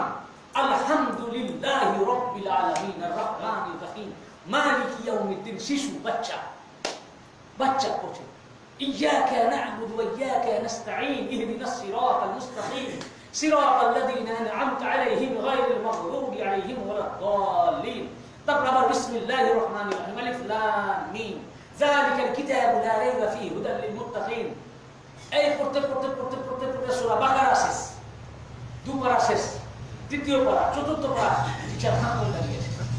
কি কি এ কি? এ কি স্টুডেন্ট আরে আলিম শিখাবো। আর সে সূরা বাকারা শেষ করে দিল। সূরা আলে ইমরান, সূরা নিসা। তিন পারা চার পারা পাঁচ পারা ছয় পারা সাত পারা করতে করতে করতে একদম আঠারো পারা শুনিয়ে দিলেন। শুনিয়ে দেওয়ার পর থেমে গেল তখন শিক্ষক বললেন, কি হলো? থেমে গেলেন কিনা? আর তারপর?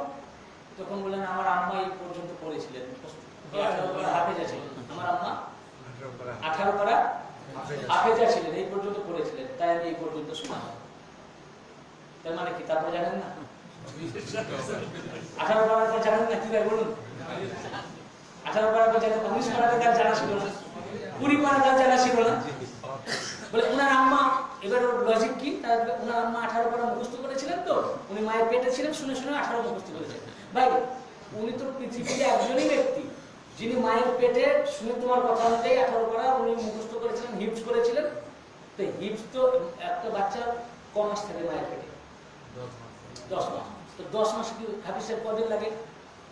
একটা আঠারো পারা মুখস্থ করতে দশ মাসে হবে? হ্যাঁ? হবে? কতদিন লাগতে পারে আন্দাজ? বহুদিন লাগবে। তো তো উনি হিপস করেছেন তো আগে। উনি পেটে আসার আগে তো হিপস করেছেন। আচ্ছা তা আমি ধরলাম আচ্ছা উনি হিট আগে থেকে ছিল উনি আওড়াতে পড়তেন আচ্ছা যদি আঠারো পারার হাফেজা হয়, ধরেন কেউ আঠারো পারার হাফেজ যদি আঠারো পারার হাফেজ হয় তা হাফেজটা কি হাফেজ কি শুধু আঠারো পারাই পড়বে? যেহেতু আমি আঠারো পারার হাফেজ তাই আমার আঠারো রিসার করা যাবে। না। নাকি কোরআন যখন পড়বে ধরুন আঠারো পারার হাফেজ কোরআন পড়বে, কি পনেরো পারার হাফেজ ও পনেরো পারা অব্দি মুখস্থ করেছে, আর নাই। তো যখন কোরআন পড়বে, তো ওকে পনেরো পারা অব্দি পড়বে? যে আমার তো পনেরো পারা মুখস্থ তারপর আমার পড়া যাবে না। বললে আমার গুণা হবে। নাকি? পনেরো পারার হাফেজ, বা হাফেজা, যাই হোক। যখন কোরআন পড়বে, পুরা পড়বে। পনেরো পারা হেফ করবে বা কিটা থেকে নাজারা পড়বে। নাকি? কোরআন যখন খতম করে পড়বে তো তিরিশই। তো ওনার আম্মাজানকে আঠারো পাড়াই করেছিলেন নাকি? হাফেজা আঠারো পাড়া ছিলেন। তাও আবার হিপস করেছেন গসাবাদ পেটে আসার আগে। তারপর যখন পেটে এসেছেন, তখন যদি কোরআন পড়েছে তো উনি আঠারো অব্দি পড়ে স্টপ করে দিয়েছেন? পড়েছেন তো তিরিশ। তো তিরিশ পাড়া পড়লেন না ওটা পর্দা রাখলেন। যে আমার আম্মাজান আঠারো পাড়ার হাফেজা ছিলেন তাই আমি আঠারো শোনালাম। তার মানেটা কি? এটা শরীয়তের পর্দা রাখলেন আচ্ছা তাই যদি হয় না তাই তাও ধরলাম যে দশ মাসে আঠারো পারা মুখস্থ করেছে। ঠিক আছে? এটা তো সম্ভব নয় ধরে নিচ্ছি ধর্মের খাতিরে। তো আঠারো পারা পড়েছে এটা শুনে শুনে মুখস্থ করেছে। তো পৃথিবীতে একটাই ব্যক্তি আজ অব্দি পাওয়া যাচ্ছে যে আঠারো পারা শুনে শুনে মুখস্থ করেছে তোমরা তো আল্লাহ মাতুদ্দাহা এত বড় মুহাদ্দিস, এত বড় মুফাসসির, একটা মুফাসসিরকে দেখাও, আঠারো পারা নয়, যে তুমি পেট থেকে শুনে শুনে মুখস্থ করেছ। অন্তত তোমার মা যদি কোরআন না পড়েছে, বিসমিল্লাহ তো বলেছে, ভাত খাওয়ার সময়। খাবার সময় কতবার তোমার মা বিসমিল্লাহ বলেছে? একটা বাচ্চাকে দেখান যে মায়ের পেট থেকে জন্মগ্রহণ করার পর, ও মায়ের পেট থেকে মায়ের কাছ থেকে বিসমিল্লা শুনে ও বিসমিল্লাহ মুখস্থ করে জন্মগ্রহণ করেছিল কি আছে? না, কোনো মৌলবি আছে, কোনো মুহাদ্দিস আছে? না, কোনো আলেম, না কোনো না, কোনো কোরআন তো দূরের কথা। বিসমিল্লাহ শোনার জন্মগ্রহণ করা। গসপাকে শুনে মায়ের পেট শুনে মুখস্থ না। এটা একটা শরীয়তের পর্দা রাখলেন উনি তিরিশ পারারই কোরআনের হাতে ছিলেন। কীভাবে? মায়ের কাছ থেকে শুনে নয়। আল্লাহ আল্লাহ মাহু শাদীদুল কুয়া আল্লাহ মাহু মহান মহা শক্তিশালী শক্তি আল্লাহ তাআলা রব্বুল উনাকে শিক্ষা দান করে পুরা কোরআন নয়, কোরআনের পুরা ইলম দিয়ে শুরু কোরআন নয়, কোরআনের তাফসীর কোরআনের তাফসীর সহ সারা ইলম, দুনিয়ার সমস্ত ইলম দিয়ে গাউস পাককে আমার আল্লাহ পাক আমার গাউস পাককে দুনিয়া পাঠিয়েছে অনুরূপ ভাবে যে পুরা খানদান পাককে আল্লাহ তাআলা দিয়ে দুনিয়ায় পাঠিয়েছে। একে বলে ইলমে রুহানিয়া ইলমে ইলমে রুহানিয়া ইলমে মারিফাত ইলমে ভেলায়াত ইনারা ভেলায়াতের দৃষ্টি দিয়ে দেখেন। আপনি যদি খুব ভালো করে খেয়াল করেন দেখবেন আপনার যখন মুর্শিদের সাথে কথা বলবেন হাজির হবে প্রতিটি মুহূর্ত যদি লক্ষ্য রাখেন প্রত্যেকটা মুহূর্তেই কারামত জাহির হচ্ছে। হচ্ছে লক্ষ্য করলে লক্ষ্য করলে দেখবেন প্রতিটি মুহূর্তে লক্ষ্য হয়ে গেছে ওভারলুক করলে হবে। বুঝেছেন? তো ওনাদের জিন্দগি রসুলের জিন্দগিকে বলা হয়েছে হাসানাত উসওয়াতুল হাসান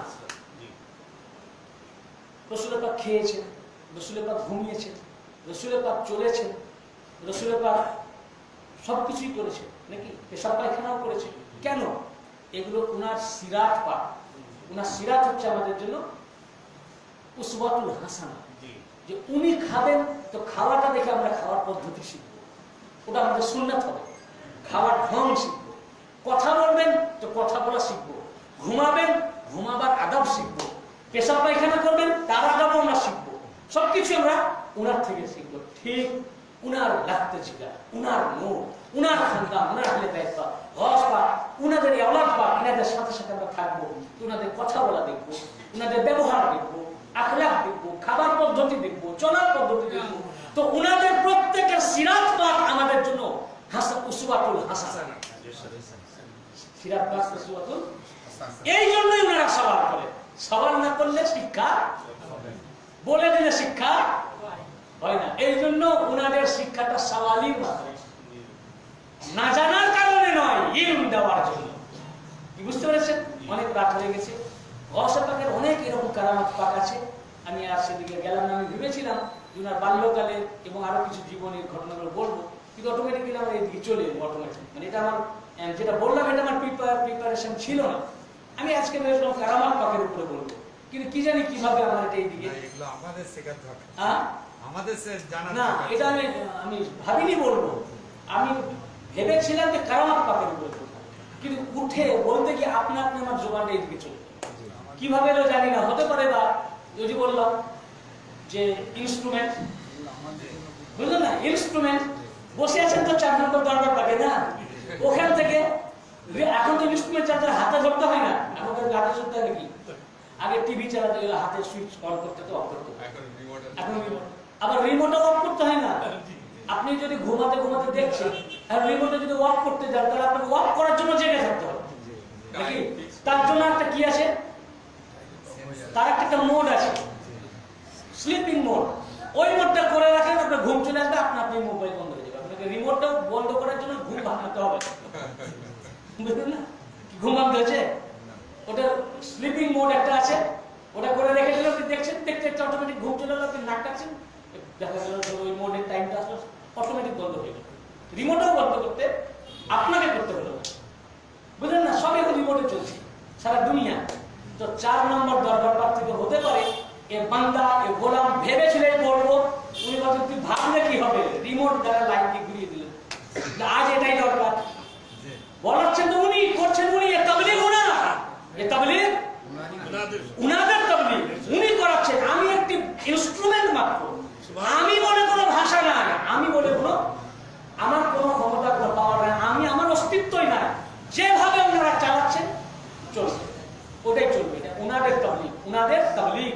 ইসলামকে এইভাবে ওনারা ওনারা ডাইরেক্ট নিজে ওইভাবে এখন আর বলেন না, ওনার গোলামকে দিয়ে বলা এটা একটা পাওয়ার একটা নিজে বলা, আর একটা উনি যেটা চান, সেটা তার দাসকে দিয়ে বলিয়ে নেওয়া, তার দ্বারা তবলিগ করা, এটাও কম, এটা আরও বড় পাওয়া উনাদের পাওয়া আল্লাহ পাক আমাদেরকে তৌফিক আতা করুন। সঠিক কথা বোঝা রসে পাকের সিরাত পাকটা আমাদের জানা, উনার সিরাতের উপরে চলা, এবং আমাদের হুজুর পাকের নকশা কাদামে চলা, এবং আমাদের হুজুর পাকের জীবনীটাই, এবং বড় হুজুর পাকের জীবনী কেমন ছিল? ওনার চেহারা পাক দেখলেই দেখবেন আপনারা আমরা তো কেবল রসুলের পাককে দেখিনি। কিন্তু একটা অনু আমরা যেটুকু আপনাদের প্রত্যেকে একটা অনুভূতি থাকে। একটা মাইন্ডে একটা পিকচার থাকে। প্রত্যেকের পিকচার আছে। আপনি দেখবেন মৌলা পাক সম্পর্কে একটা পিকচার আছে। নিজের নিজের একটা পিকচার হয়ে যায়। তো আমাদেরকে একদম ঠিক লাগে বড় হুজুর পাকের ছবি পাক চেহারা পাক আর কি ডেটও মনে হয় রসুলের পাক। আর একটা লাগে বড় ইমাম মতো বড় উনার মতো আর পাওয়া যাবে না। মতো। একদম বড় মতো। কি মাসুম ছিলেন? কি জিন্দগি উনার ছিল? এগুলো আমি পরে যে মালিক পাক বলার উনার জিন্দগির উপরে। বা ওনার সময় আসলো বা পাক ইজাজত তখন করতে মানে আপনারাই দেখেছেন কি বাদশাহ বাদশাহ। হ্যাঁ? বাদশাহ সারা দুনিয়া হাতের মুঠোয়। থাকতেন কি ফকিরি লেবাসে। কি সাদা ভাবে। না ছিল খাওয়া, না ছিল কিছু। খালি গোলামদেরকে খাওয়ার জন্য। উনার চলা, উনার হাঁটা। আমি রসুলের পাকে সিরাত পাকে যেটা আমি পড়েছি, উনার হাঁটা, সিরাত পাখি রসুলের পাকে যে হাঁটার ভং ভঙ্গি, সেটা একদম হুবহু বড় কিছু পাকে ওই ভঙ্গি এই যে ওনাদের কাছ থেকে যে আমার আম- আম- আমি, আমাকে যে মালিক বানিয়েছেন, আমাকে কি উনি পড়িয়েছেন নাকি? পড়িয়েছেন, কিছু কিছু জিনিস শিক্ষাও দিয়েছেন, একবার জানি তারা। কিন্তু বাকায়দা যেটা মাদ্রাসার শিক্ষা ওইভাবে কেন পড়েছেন না। ইনাদেরকে ওইভাবে হাতে কলমে ধরে পড়াতে হয় না। উনাদের কাছে উঠা বসা করলেই ইলম হাসিল। পর্দা এই জন্য কোন একজনকে বলেছিলেন, এখানে উঠা বসা করবি, তাতেই তোর ইলম হাসিল হবে। আমাদের কাছে। বুঝেছেন? সেই সমস্ত কাজে ইসলাম তো ইনাদের কাছে উঠা বসা করলে উনাদের যে চলা ওনাদের বলা ওনাদের আখলা এই উনাদের কাছে উঠা বসা করলে এটা উনাদের তরফ থেকে কুদরাত থেকে উনাদের কারামাতের মাধ্যমে অটোমেটিক ইলম হয়। এইভাবেই উনারা আমাকে এটা দিয়েছেন এবং আমাকে দিয়ে বলেছেন। হাতে কলমে মাদ্রাসার মতো করে আমাকে পড়াননি কিন্তু এই ইলম উনি দিয়ে দিয়েছেন। উনি দিয়েছেন এটা ওনার কারামাত পা এখন আর সব আমি মাদ্রাসা সাবজেক্ট পড়াতে পারি। মালিক দিয়েছেন আমি পারি না উনি করাচ্ছেন ওই আমি বলে কোনো ভাষা না। আল্লাহ পাক আমাদেরকে তৌফিক দেন। আপনারা যে যে নিয়ত এখানে আসবে উনারা প্রত্যেকের নিয়তকে পুরা করেন এটা হয়তো আমার ইচ্ছা ছিল এটা ভালো লাগতো বলে উনি আমাকে এই লাইনে দিয়েছেন। আপনারা যে যে নিয়ত ওনার কাছে যাবেন হান্ড্রেড পার্সেন্ট আমি একদম বিশ্বস্ততার সাথে বলছি এবং জিম্মাদারির সাথে বলছি। আপনি বিশ্বাসের সাথে যে যে নিয়তে যাবেন আপনার ওই নিয়ত ওখান থেকে পুরা কিন্তু ইয়াকিন ওয়াহিদা থাকবে ইয়াকিন যদি না থাকে কে জানে যাই তো হয়তো হবে না হয় না গেলে তো দোষ না হলো তো হলো না হলো তো ইয়াকি করে এই দোনো আকিদা পোক্তা আকিদা রাখতে হবে পোক্তা হয়তো এখানেই হবে হলে এখানে না হবে উনার মর্জি আপনার যে কোনো যে যে লাইনের লোক আপনি ওই আকিদা নিয়ে যাবেন পুরা এখানেই হবে উনি পুরা উনার সোহবাতের দ্বারা পুরা করবে উনার কারামাতের দ্বারা পুরা করবে আল্লাহ পাক আমাদেরকে তৌফিক করুন। যেন আমরা এই দরবার পাককে আঁকড়ে ধরে থাকতে পারি। উনাদের গোলামি করতে পারি। উনাদের দাসত্ব করতে পারি। উনাদের পায়রাবি করতে পারি। উনাদের নকশে কদমে চলতে পারি। সব কিছু ছেড়ে যায় কিন্তু এই দরবার আমাদের না ছুটে ওনাদের কদম পাক আমাদের না ছুটে। সব আমাদের দুনিয়া থেকে চলে যায়। কিন্তু এই দরবার কিন্তু তার সাথে সাথেও চাই দরবারের সাথে মালিক আমাদের দুনিয়া এবং আখেরাত আমাদের ভালাই রাখে। এবং আমাদের হৃদয়ে মোহাম্মদ আলী মোহাম্মদের হৃদয় মোহাম্মদকে পরিপূর্ণভাবে মালা আপনি ভরে দেন এবং আমাদের সমস্ত গণনাকে মাফ করে আমি আলহামদুলিল্লাহ আল্লাহ اللهم صل على سيدنا ومولانا محمد الجود ولا وسلم على سيدنا رسول الله